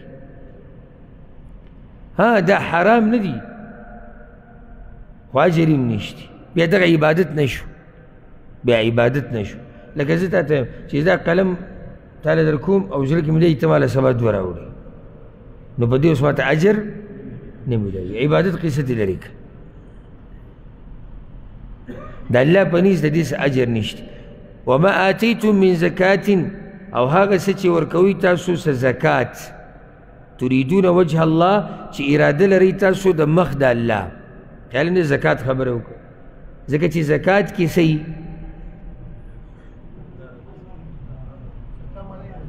تم تم ستا دغه نه دانی شي دی او مال بیا راکې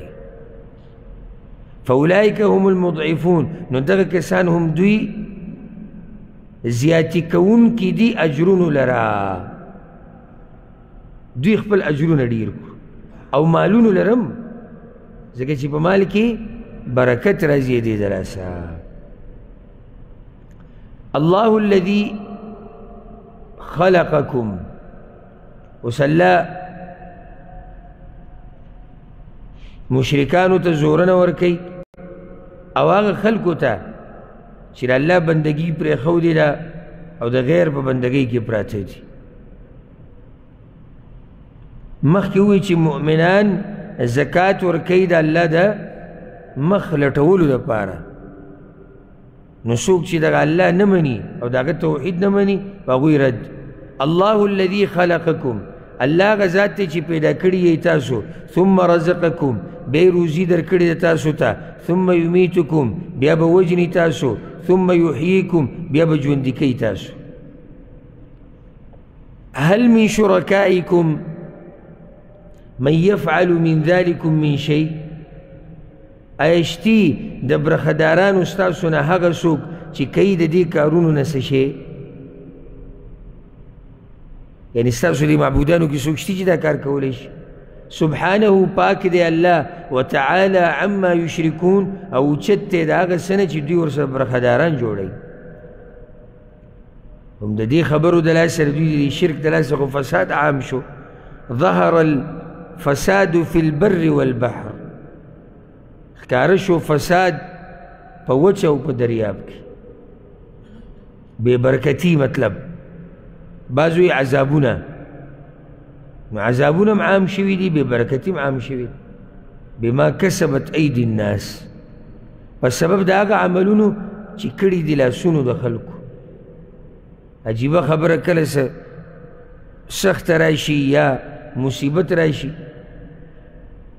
نو زمونږ توجه دې ته سره ځي نه چې دا زمونږ د لاسه دا کار کېږي ته نن سبا ګیر چاپېره نظر وچولوه بې برکتي څومره عامه شوې ده که نه او زه په زه وخت په وخت د الله عذابونه راځي کله یو ځکه کله بل ځکه کله بل ځکه دا بما کسبت ایدی الناس دغه چې غفلت هغه ډیر شوی دی مؤمنانو کې کافرانو خبر نه کوم کافرانو کافران دي مؤمنان د خپل رب نه لري تللی لیذیقهم بعض الذی عملو دې دپاره چې وروسه کوي دوی ته سزا د بعض هغه عملونو چې دوی کړي دي لعلهم یرجعون دې دپاره چې دوی واپس راشي ستا الله ته د الله دیندارۍ ته یعنی حکمت دې کې دا دی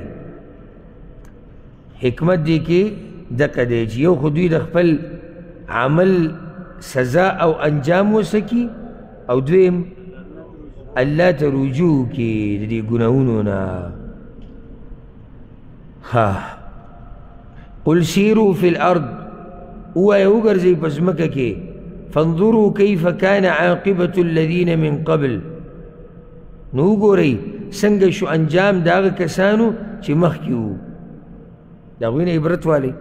وکان اکثرهم مشرکین او ډیر د هغوی نه مشرکانو لکه څنګه چې دا دي اوس الله د نجات لار ښیي مخکې خو عذاب ذکر شو او انجام د مشرکانو نو د دین د وتو لار هغه دا ده فاقم وجهک للدین القیم نو برابر که مخ خپل هغه دین ته چې مضبوط دی یعنی په دې دین باندې نیغ روان شه کږېږه تې مه من قبل ان یأتي یوم مخکې د دې نه چې رابه شي یوه ورځ لا مرد له من الله چې نه به یې واپسي د هغې د طرف د الله نه څه مطلب شو یعنی قیامت چې راغی بیا پکې واپسي بیا پکې نشتی دا معنی چې کله الله وخته بس بیا به راځي یومئذ یصدعون په دغه ورځ به دوی ټوکړې ټوکړې شي یعنی یتفرقون مخکې تیر شو که نه څنګه به ټوکړې شي مجرمان او جنتیان به جدا شي مشرکان او موحدین به جدا شي مشرکان مشران او کشران به جدا شي من کفر فعليه کفر چا چې کفر کړی دی نو په هغه باندې به کفر د هغوی یعنې د کفر انجام به ورته قیامت په ورځ میلاو شي ومن عمل صالحا او چا چې عمل کړی دی نیک فلانفسهم یمهدون نو د ځانونو خپلو د پاره ځای تیاروي کوم ځای دی جنت دی ليجزي الذين آمنوا وعملوا الصالحات من فضله د دې لپاره چې بدله ورکړي هغه کسانو ته چې ایمان یې راوړی دی او عملونه یې کړي دي نیک د مهربانۍ خپلې نه خپل فضل ورته نصیب کړي هغه د الله رضا ده جنت دی د آخرت دا نعمتونه دا ټول د الله فضل دی انه لا يحب الكافرين یقینا الله مینه نه کوي کافرانو سره دا هغه کافران دي چې د الله په دې قدرتونو کې دوی سوچ نه دی کړی چې ایمان یې راوړی ومن آیاته او بعض د نښو د قدرت د الله نه دا دي ان یرسل الریاح چې رالیږي هواګانې مبشرات زیرې ورکوونکي وليذيقكم من رحمته او دې د پاره چې وسه کوي تاسو ته د رحمت خپلنا څه شي دی باران ولتجري الفلک بامره او دې د پاره چې رواني کشتۍ په حکم داغه سره ولتبتغوا من فضله او دې د پاره چې ولټوي تاسو د فضل د الله نه کشتو کې ګرځي ځان لپاره رزق هم ګټي ولعلکم تشکرون او شاید چې تاسو به شکر ادا کړئ دا به بل فائدہ شو نو صلی الله رب العزت خپل پیغمبر ته تسلی ورکړي چې ستا نه مخکې ما پیغمبران لېږلي دي خو چې چا نه ده منلې الله رانیولي دي ولقد ارسلنا من قبلك رسلا او یقینا لېږلي دي موږ مخکې ستا نه رسولان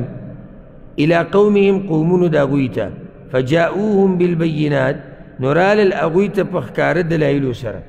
فانتقمنا من الذین اجرمو نو بدله واغسته موږ د هغه کسانو چې مجرمان وکان حقا علینا نصر المؤمنین او د لازم په موږ باندې مرسته کول د مؤمنان تسلی ده ځکه چې مکی دور کې قسمه قسم تکلیفونه پیغمبر صلی الله علیه وسلم ته مسلمانانو ته ملاو شوي نو دې ځکه الله تسلی ورکړ چې الله به لازم ستاسو مرسته کوي نو د دین بعد اوس بیا د الله د قدرت باز نخې بیاني ځکه چې دې صورت کې ټول توحید دعوت څه طرف ته دی د توحید طرف ته نو سیلې ته وګوره څنګه دا وریځې چلی دا بیاني تیر شوی آیت کې الله وایي چې موږ د مسلمانانو مرسته لازم کو د الله طریقې او دا د مرستې چې سیلې یې په کافرانو راوستې ده عذاب په شکل کې ځکه چې سیلۍ دوه قسمه دی یو عذاب دی بل رحمت دی لکه خندق کې د هغې ذکر به انشاءالله نن راشي الله الذي يرسل الرياح خاص الله هغه ذات دی چې رالیږي هواګانې فتثیر صحابه بس راپورته کې وریځې فیبسطه فی السما نو خوري کې دغه وریځې په اسمان کې کیف یشا څنګه چې غواړي ویجعله کسفا او ګرځي هغې لره ټوکړې لاندې باندې فتر الودق یخرج من خلاله نو اینې به ته ساس کي د باران چې روزي به د مینځ د هغې نه څه نه وریځ فاذا اصاب به من يشاء من عباده نو کله چې ورسې هغې لره هغه چا ته چې وی غواړي د بندګانو خپلو نه اذا هم یستبشرون نو دغه وخت هغوی خوشحاله شي وان كانوا من قبل ان ينزل عليهم اگر که و دوی مخکې د دینه چې راورولی شي باران په دوی باندې لمبلسین من قبله مخکې د دینه لمبلسین نا امیدی کوونکي یعنی مخکې چې باران نه ولیدلی نو سو نا امیدو نو اشاره د دې طرف ته چې د الله نه مه نا امیده کېږه د الله د رحمت امید ساته نو ځکه وایي فانظر الى آثار رحمت الله نو ګوره نه خو د رحمت د الله ته کیف یحیی الارض بعد موتها څنګه ژوندی کوي ځمکه وروستو د وچوالي نه دې کې سوچو کې ګره الله ان ذلک لمحیی الموتى یقینا دغه ذات خامخا ژوندی کوونکی د مړو دی او همدغه طریقه ده د مړو د راژوندي کولو وهو علی کل شیء قدیر او هغه په هر شي پوره قدرت لرونکی دی د دې مشرکانو ناشکری بیاني بارانی چې وری دونه سي چلو شو خوشاله شو یو بل زیره ورکو هو کچرته څه عذاب د الله د طرف نه راشي ویني نو بیا دوی څه شي بیا کفر شروع کی والعیاذ بالله ها ولئن ارسلنا ريحا او کچرت راولي ګمن هوا ما تاسو کې چې هوا په دوه قسمه فرأوه مصفرا نو ویني دوی هغه فصل لره زیړ لظلوا من بعده یکفرون خامخا وبګرځي وروسته د دې نه چې ناشکري به کوي د دې یوې خبرې د لاس انسانانو د مزاج هم ډېر ناشنا دی هغه بېشماره نعمتونه دې هیر شي او هغه یوه خبره به یادوي حقه به مخې مخې ته کوي نو الله وایي پرېږده د دې مشرکانو دا ګډې وډې خبرې دې ته توجه مه ورکوه او دوی ستا د خبرې نه فایده هم نه اخلي کوم چې زدیان دي او عنادیان دي فإنك لا تسمع الموتى نو یقینا ته نشي اورولی مړو ته ولا تسمع الصم الدعاء او نشي اورولی کڼو ته اواز اذا ولوا مدبرین کله چې وګرځي دوی شا کوونکي وما انت بهادي العمي عن ضلالتهم او نه ته لار ښودونکی ړندو ته د ګمراهۍ د هغوی نه یعنی چې ګمراه شي نو ته ړوند سړي ته لار نشي کوی ان تسمع الا من یؤمن بآیاتنا اورول نشي کولای ته مګر هغه چاته چې ایمان لري په آیتونو زمونږ فهم مسلمون نو هغوی منونکي دې خلکو ته اورول کولی شي نو د مشرکانو مثال څنګه دی د مړو بل د کڼو بل د ړندو درې خبرې شوې ها اوري څوک هغه مؤمنان چې دی هغه د الله آیتونه اوري او د الله په خبرو کې او د الله په قدرت کې سوچ کوي نو ځکه الله خپل قدرت بیانوي الله الذي خلقكم من ضعف او دا من ضعف هم ویل کېږي دواړه صحیح دي بعضو نسخو د قرآن کې ضعف دی بعضو کې ضعف دی الله الذي خلقكم من ضعف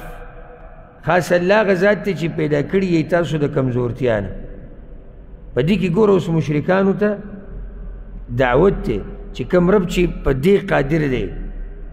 او په دې مراحلو تاسو تیری نو هغه ته واپس شئ که نه توحید یې ومنئ ثم جعل من بعد ضعف قوه بیا ګرځولې ده وروسته د کمزورۍ ستاسو نه طاقت اولنی کمزورتیا څه ده ماشوموالی بیا د هغې نه به ځواني راله ثم جعل من بعد قوة ضعفا وشیبا بیا یې ګرځولی دی وروستو د طاقت نه کمزورتیا او بوډاوالی اول کمزورې بیا زورور بیا کمزورې هغه زور حال ته انسان بیا راشي په کومې باندې چې اول تیر شوی چا یو پیر تصویر ورکړی و دی نیټ کې ډیر د عبرت تصویر یو یو کس چېرته پلار ځان سره روان کړی بازار کې ګاډي کې کېنولې او یو کس ځان سره ماشوم روان کړی زوی په ګاډي کې کېنولې او دا ګاډي دې چې د یو بل نه اوړي یعنې هغه دا طرف روان دی دې طرف نو دا بوډا دې ماشوم ته ګوري ماشوم بوډا ته ګوري نو لیکلي وو ته له پاسه وي که ډېر لرې لاړ شي واپس واقع ځي له بیا راځي د دومره اوږد چکر نه بعد دا بوډا دغه ګاډۍ له بیا راغی بیا ناست دی خوځېدی نه شي ړکېدی نه شي څه شي ځانله په خپله نه شي راوستی دغه شان هغه ماشوم دی نو دومره په دې دنیا کې ورننوځم او دومره پرې دوکه کېږم دا ګوره بیا ته قضي له راولي د کوم ځای نه چې دې شروع کړې وه د ژوند تېر کوي د الله دپاره چې په تا باندې دغه وخت راشي د کمزورتیا ده او تا هغه څه کړي څه چې ستا زړه غواړي دیندارۍ چې وروسته بیا نه کي یخلق ما یشا پیدا کوي هغه څه چې وی غواړي وهو العلیم القدیر او هغه پوهه دی قدرت لرونکی دی لازم سړي ته عباداتو کې تکلیف وي کله ماته دا سوچ راشي چې یاره سړی کله نا کله درس کې ستړی شي یا پلانې کار یا پلانې نو زه خو ځان ته دقه خبره مخې ته کوم چې نن دې ونه کړه سبا یې نشي کولی ځان ته زه په خپله دا وایم که ستا دا مطلب وي چې نن یې نه کوم سبا به یې وکړم نو نن خو ستا د سبا نه طاقت ډېر دی نو چې نن یې نشي کولی سبا یې نشي کولی او زه خو حیران هغو ته یم چې په طاقت کې یې نشي کولی نو چې ګوره کمزورتیا کې به دوی څه حال دي ځکه دا وخت غنیمت وګڼي دا ځواني ویوم تقوم الساعه او په کومه ورځ چې قایم شي قیامت د کمزورتیا نه بعد بیا مرګ دی که نه مرګ نه بعد قیامت دی نو په کومه ورځ چې قایم شي قیامت یقسم المجرمون قسمونه به خوري مجرمان ما لبثو غیر ساعه وخت نه دی تیر کړی دوی سوا د یو ساعت نه قسمونه به خوري ښه چا خو اخو یو ګنټه ژوند اخو یو وخت ژوند لږ وخت ژوند ما ته سره سات مخ کې وکنه جون مختصر دی بیا به واپس قضیه درازي دا اوس دوی قیامت کې دا قسمونه کذالک کانوا یؤفکون دغه سیو دوی چې اړول کیدو به د حق نه نو څنګه چې دنیا کې ګړي وړي ویلې ها دغه شان آخرت کې هم ګړي وړي ویلې کذالک کانوا یؤفکون هنو پوه خلق بوته سوی مؤمنان علماء وقال الذين اوتوا العلم والایمان او وبه وي هغه کسان چې ورکړی شوی دی ورته علم او ایمان لقد لبثتم فی کتاب الله یقینا تاسو وخت تیر کړی دی په لیکلی شوي تقدیر د الله کې الی یوم البعث تر ورځ د دوباره ژوند پورې یعنی وخت هم ښه پوره تیر کړی دی د کوم ورځې نه چې تاسو پیدا شوي یئ او د دې وخته پورې ستاسو لره پاسېده چې دی بیا چې کوم وخت الله لیکلی ما کم تیر کړی فهذا یوم البعث نو دا ورځ د دوباره ژوند ده ولکنکم کنتم لا تعلمون مګر تاسو نه پوهېږئ دنیا کې هم نه پوهېدئ او دلته هم پوه نه شئ تاسو خو پوره وخت تیر کړی دی یو ګنټه نه خو چې چا به ته په دنیا کې وی چې ژوند مختصر دی ها منلې هغه سره خو جګړه کوله مختصر دی وی لا هما ته پاتې دي شپېته او یا کال او سبحان الله چې څومره ژوند ډیر تیر کړی چې دته دی وی چې ژوند دی لږ پاتې دی غوسه کیږي ځوان لکه سره ځواني کی ولې که په دې پروايي که څوک ورته وایي چې تا ته یو کال پاتې دی یا ته به سبا مرې چې ته ورته مرې او د خندا شینې نو یې صحیح ده که نه چې له الله طرفه راځي او چې د سپینګیري ته وایي چې مرې وه دا د ځان له بله ځای ښه وکته دی چې حدیث کې راځي چې څومره انسان عمر زیاتیږي نو دوو شینو سره محبت ډېرېږي د مال سره او د عمر سره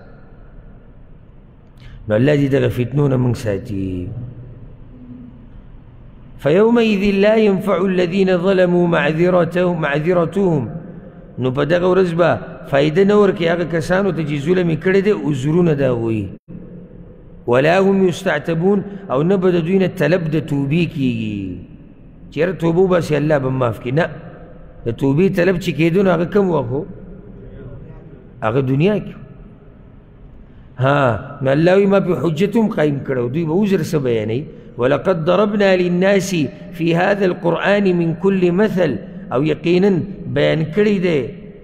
او یقینا بیان کړی دی من خلکو د پاره په دې قرآن کې د هر قسم بیان نه څه عذر پاتې شو نه خو ظالمان خدای دي ولئن جئتهم بآیه او که چېرته راوړي ته دوی ته یوه نښه لیقولن الذین کفروا خامخا وایي به هغه کسان چې کفر یې کړی دی ان انتم الا مبطلون نه یې تاسو مګر باطلې خبرې کوئ حق ته به څه ووایي باطل به ووایي الله وایي کذلک یطبع الله علی قلوب الذین لا یعلمون دغه شان مور وایي الله په زړونو د هغه کسانو چې نه پوهېږي یعنی دوی چې را ګډې وډې وایي ولې وایي الله ولا په زړونو مهر والی دی فاصبر نو صبر کوه د دې خبرو په مقابله کې ته څه کوه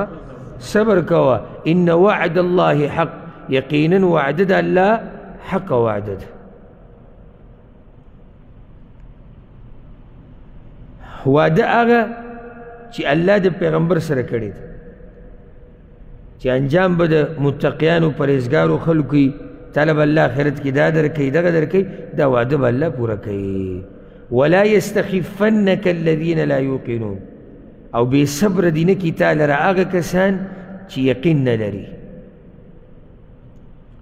یا ودی نه خوری تا هغه کسان چې هغوی یقین نه لري داسې نه چې د هغوی د سپکې سپوري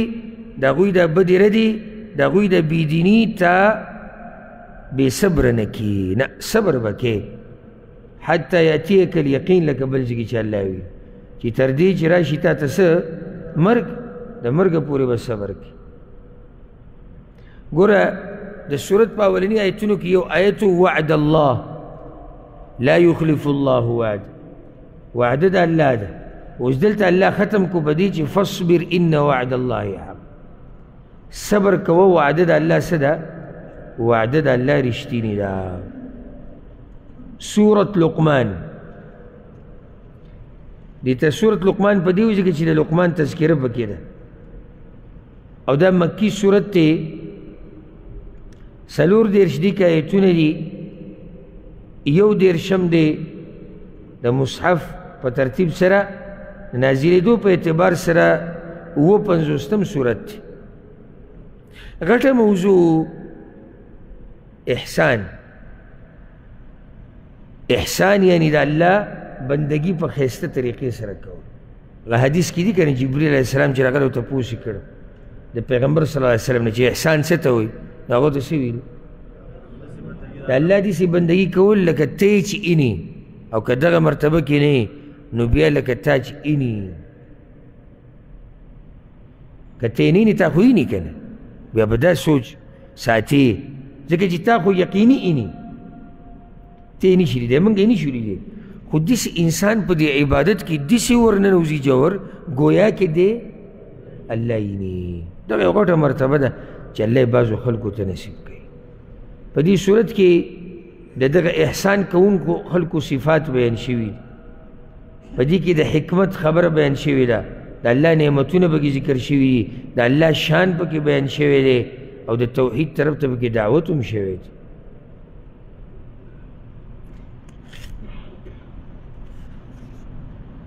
بسم الله الرحمن الرحيم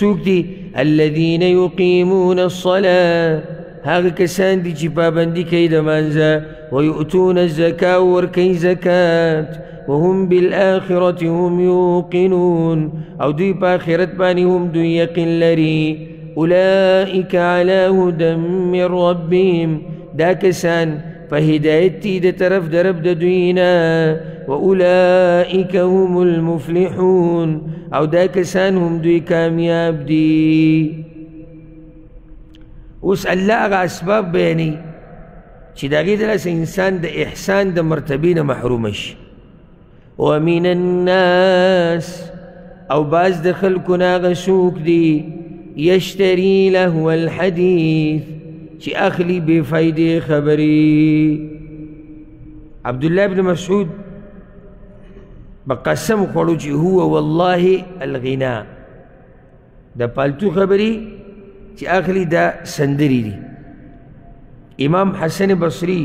هغه نزلت هذه الآية في الغناء والمزامير د آیت الله د تنګ ټکور او د سندرو مبارک نازل کړي عبد الله ابن عباس نم نقل لي جابر رضی الله نم چې هغوی دلته مراد سندري دي نو سندري تیم مراد دي او هر هغه خبره چې تا د الله د دین نه اړوي هغه پکې مراد ليضل عن سبيل الله بغير علم د پاره د دې چې واړی خلک د لارې د الله نه بغیر د دلیل نه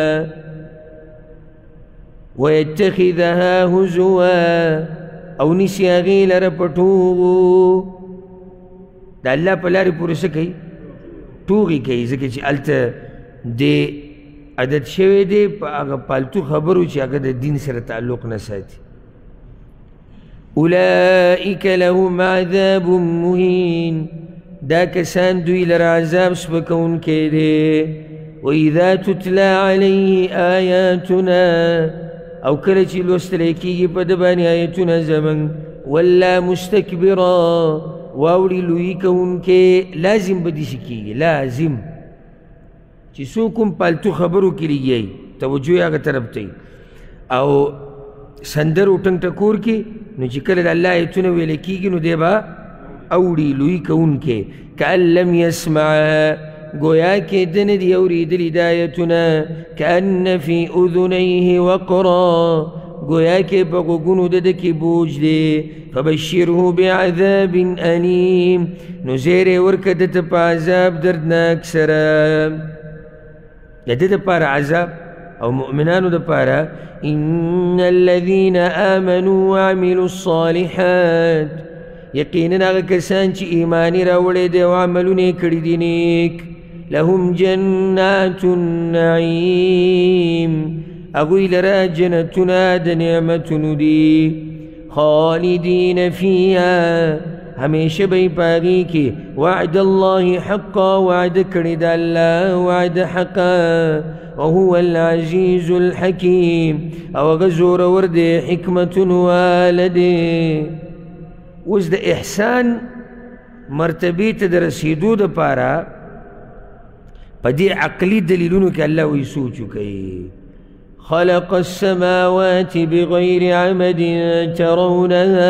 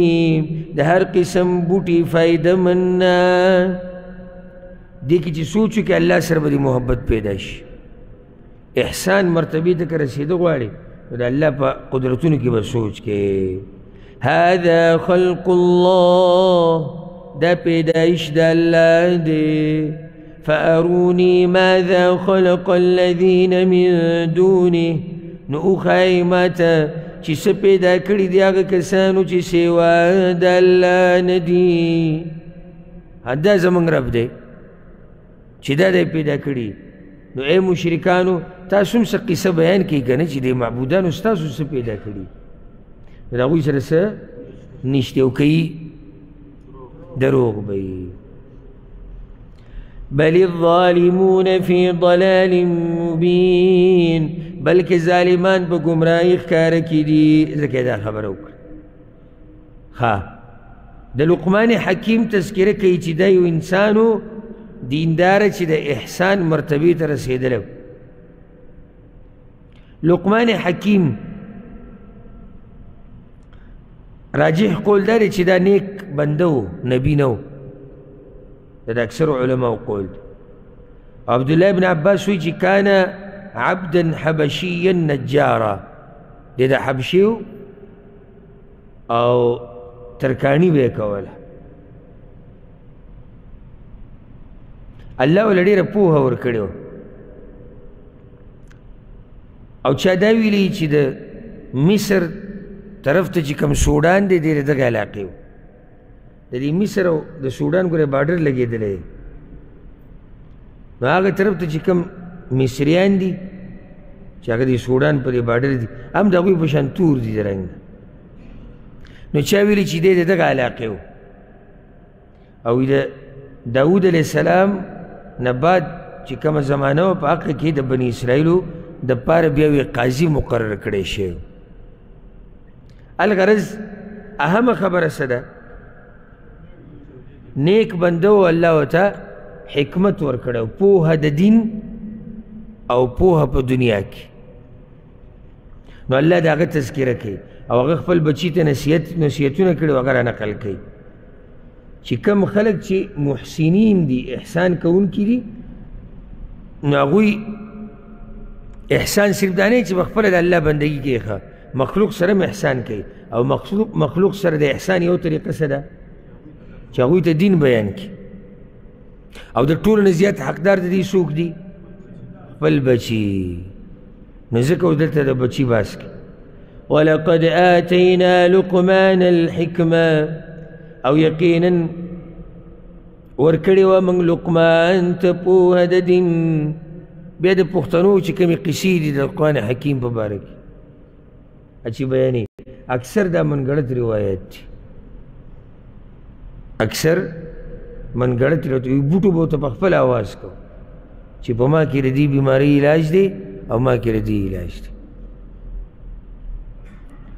وی داسې دوایي جوړه کړې وه د خېټې د خرابېدو چې دریاب ته به واچو له دریاب به ودرېدو ستا بعض خبرې د نه منلو دي نو دې کې دومره جوور تلو ته ضرورت نشته ان اشکر لله چې شکر کوه د الله دا ورته ویلی شي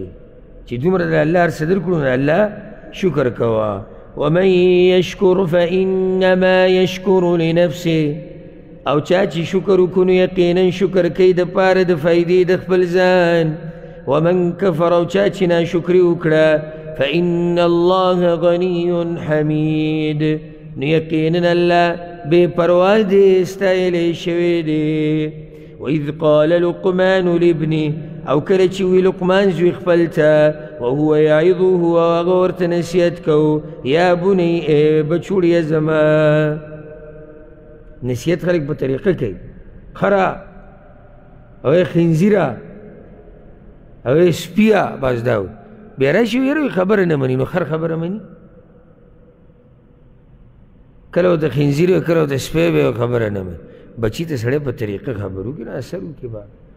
کله کله سړی سختی وکړي خو په مخه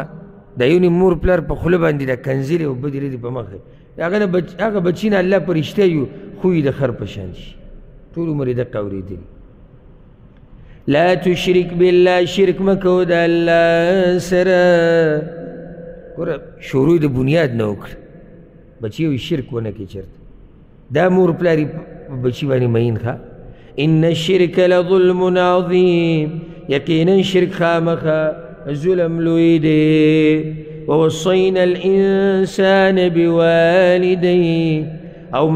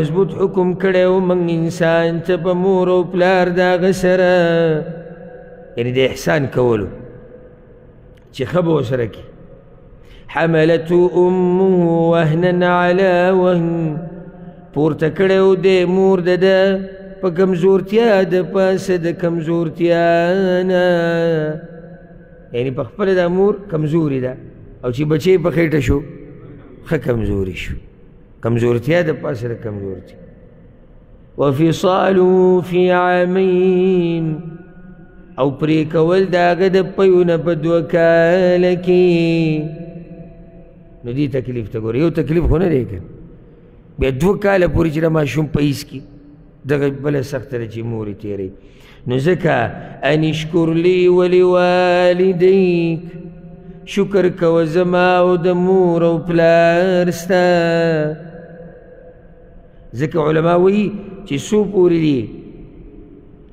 د الله د شکر سره د مور پلار شکر نه ادا کړي د الله د شکر چې ادا کړي دا مله نه او چې د مور پلار شکر ادا کړي او د الله غدي سره نه ادا کړي نو دغه جنت قبلي لکه چې موږ باندې غټ احسان د الله دی بې د هغې نه بعد په مخلوقاتو کې چې دنیا ته راغلي یو هغه د مور پلار دی د مور پلار ښه به مني هر وخت بس دوی سې کړي دي دوی چې د باچاهي په تخت باندې کېنولی د ته چې دنیا ته راغلې او د ته چې لوی کړې بس لږ نور څه وکړي دین یې درته وښو الله یې درته وښو هر څه خو به پلار نه کړي او ځوانان هغه دي چې هغه پلار ته نه پراته بس ته زلمی شوې او دې سلار وګوره چې د پلار سره پکې مرسته وکړي نو د دیرشو کالو به د پنځیشتو کالو به ستو ته یې واده بس یاره پلار هم څه غږ نه کوي نه نو بس دی نو ته د قیامت پورې پلار ته پروت غږ نه کوي ځان له څه منډه ووه کار وکړه هر څه به تاله پلار کوي نو دغه شته احسانات چې دي د هغه دغه پوره دي او چې سړی په نصیب کې مال نشته غریب دی بچی به غریب خدای خو دا مطلب نه دی چې د پور پلار په داسې احسانات نشته و الی الی المصير خاص ما ترا ګرځیدل دي ستاسو وان جاهداك على ان تشرك بي او کدوی زور راولی پتا باندې چې شریک جوړ کې ما سره غسه چې نشتی تعالی رپاغي باندې علم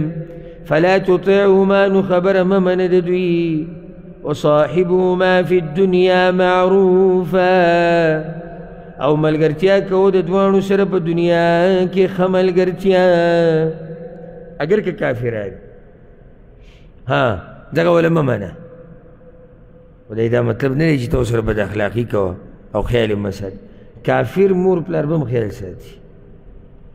واتبع سبیل من اناب الی او روان شه په لاره د هغه چا پسې چې راګرځي ما ته په دې کې ټول اول انبیا رالو بیا چې څومره نیکان خلک دي یعنی د بيدینو خلکو تابعداري ونه کې تابعداري د چا کوه د نیکانو خلکو کوه ګوره منځ کې اصل کې نصیحت شروع شوی او د لقمان خیال مو که نه منځ کې پکې الله یو آیت رادننه کړو یا دوه چېرې مور پلار سره ښه کوی او که د شرک درته ویو مې منې وجه څه ده نو وجه یو دا ده والله اعلم چې هلته لقمان وي خپل زوی ته چې شرک مه کوه نو دلته اوس الله وي که مور پلار دې ته ووایي چې کوه یې نه به یې کوي هلته لقمان حکیم بچي ته نصیحت وکړو نو الله شان بیان کو د مور پلار چې دا ګورې د ښېګړې لایق خلک دي چې د بچو تربیتونه کوي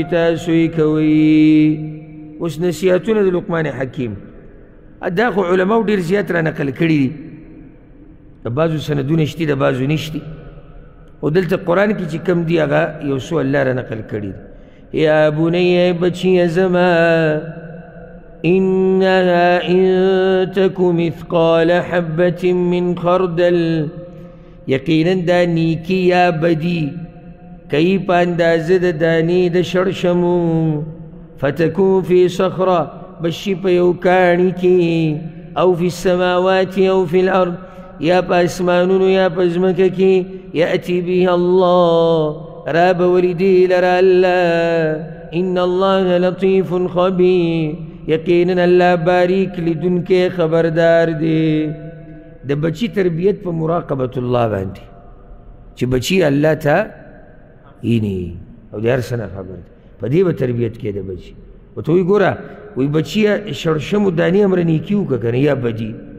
او دا دانه دی بیا په یو کاڼي کې پرته یا په اسمان کې دی په یو ځکه په ځمکه کې چار ځکه قیامت پر ورځ به الله راوړي دې تربیت خلک د بچي یا بنی اقیم الصلاه اے بچیه پابندی کوه د مانځه توحید پسې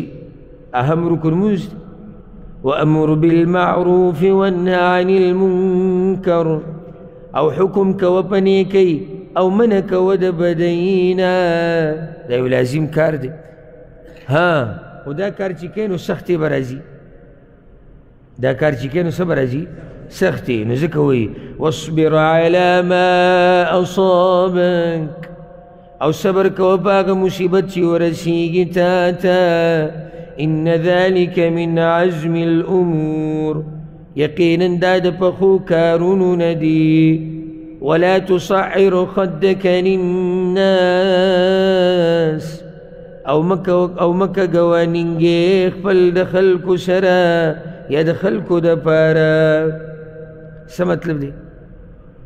تکبر مکوه نینګې کګول یعنی تکبر مکوه متکبر انسان سره چې کله خبرې کوي که نه نو تا ته ګوریم نه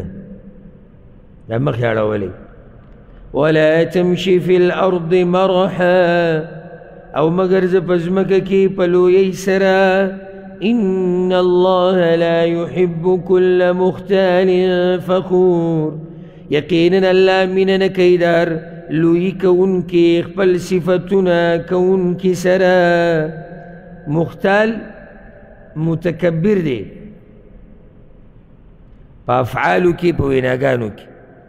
نو فخور هغه متکبر دی چې ورسره څه کوي خپل صفتونه منګ او منګ او منګ او منګ دی نو سړي سره چې کېنې دقې یو قیسې روانه کوي نو دا مزه نه کوي او د الله نه دی خوښ وقصد فی مشیک او میانه روي کوه په مزل خپل کې یعنی نه ډېر رو نه ډېر تیز نو په دې کې رد شو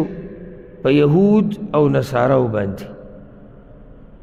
یهودیانو به ډېر تیز مزل کو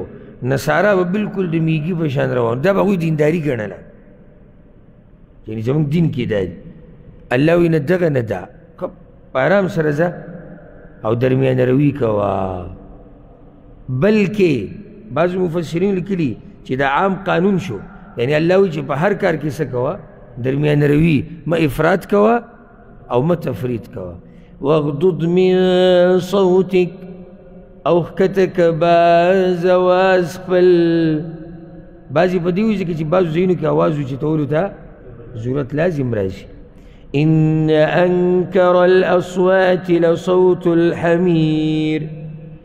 یقینا ډیر ناکاره د اوازونو نه خامخا اواز د خر دی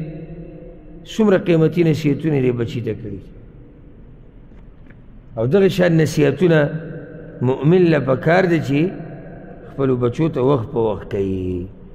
اوس د دې نه بعد به الله سبحانه وتعالی مشرکانو ته دعوت ورکوي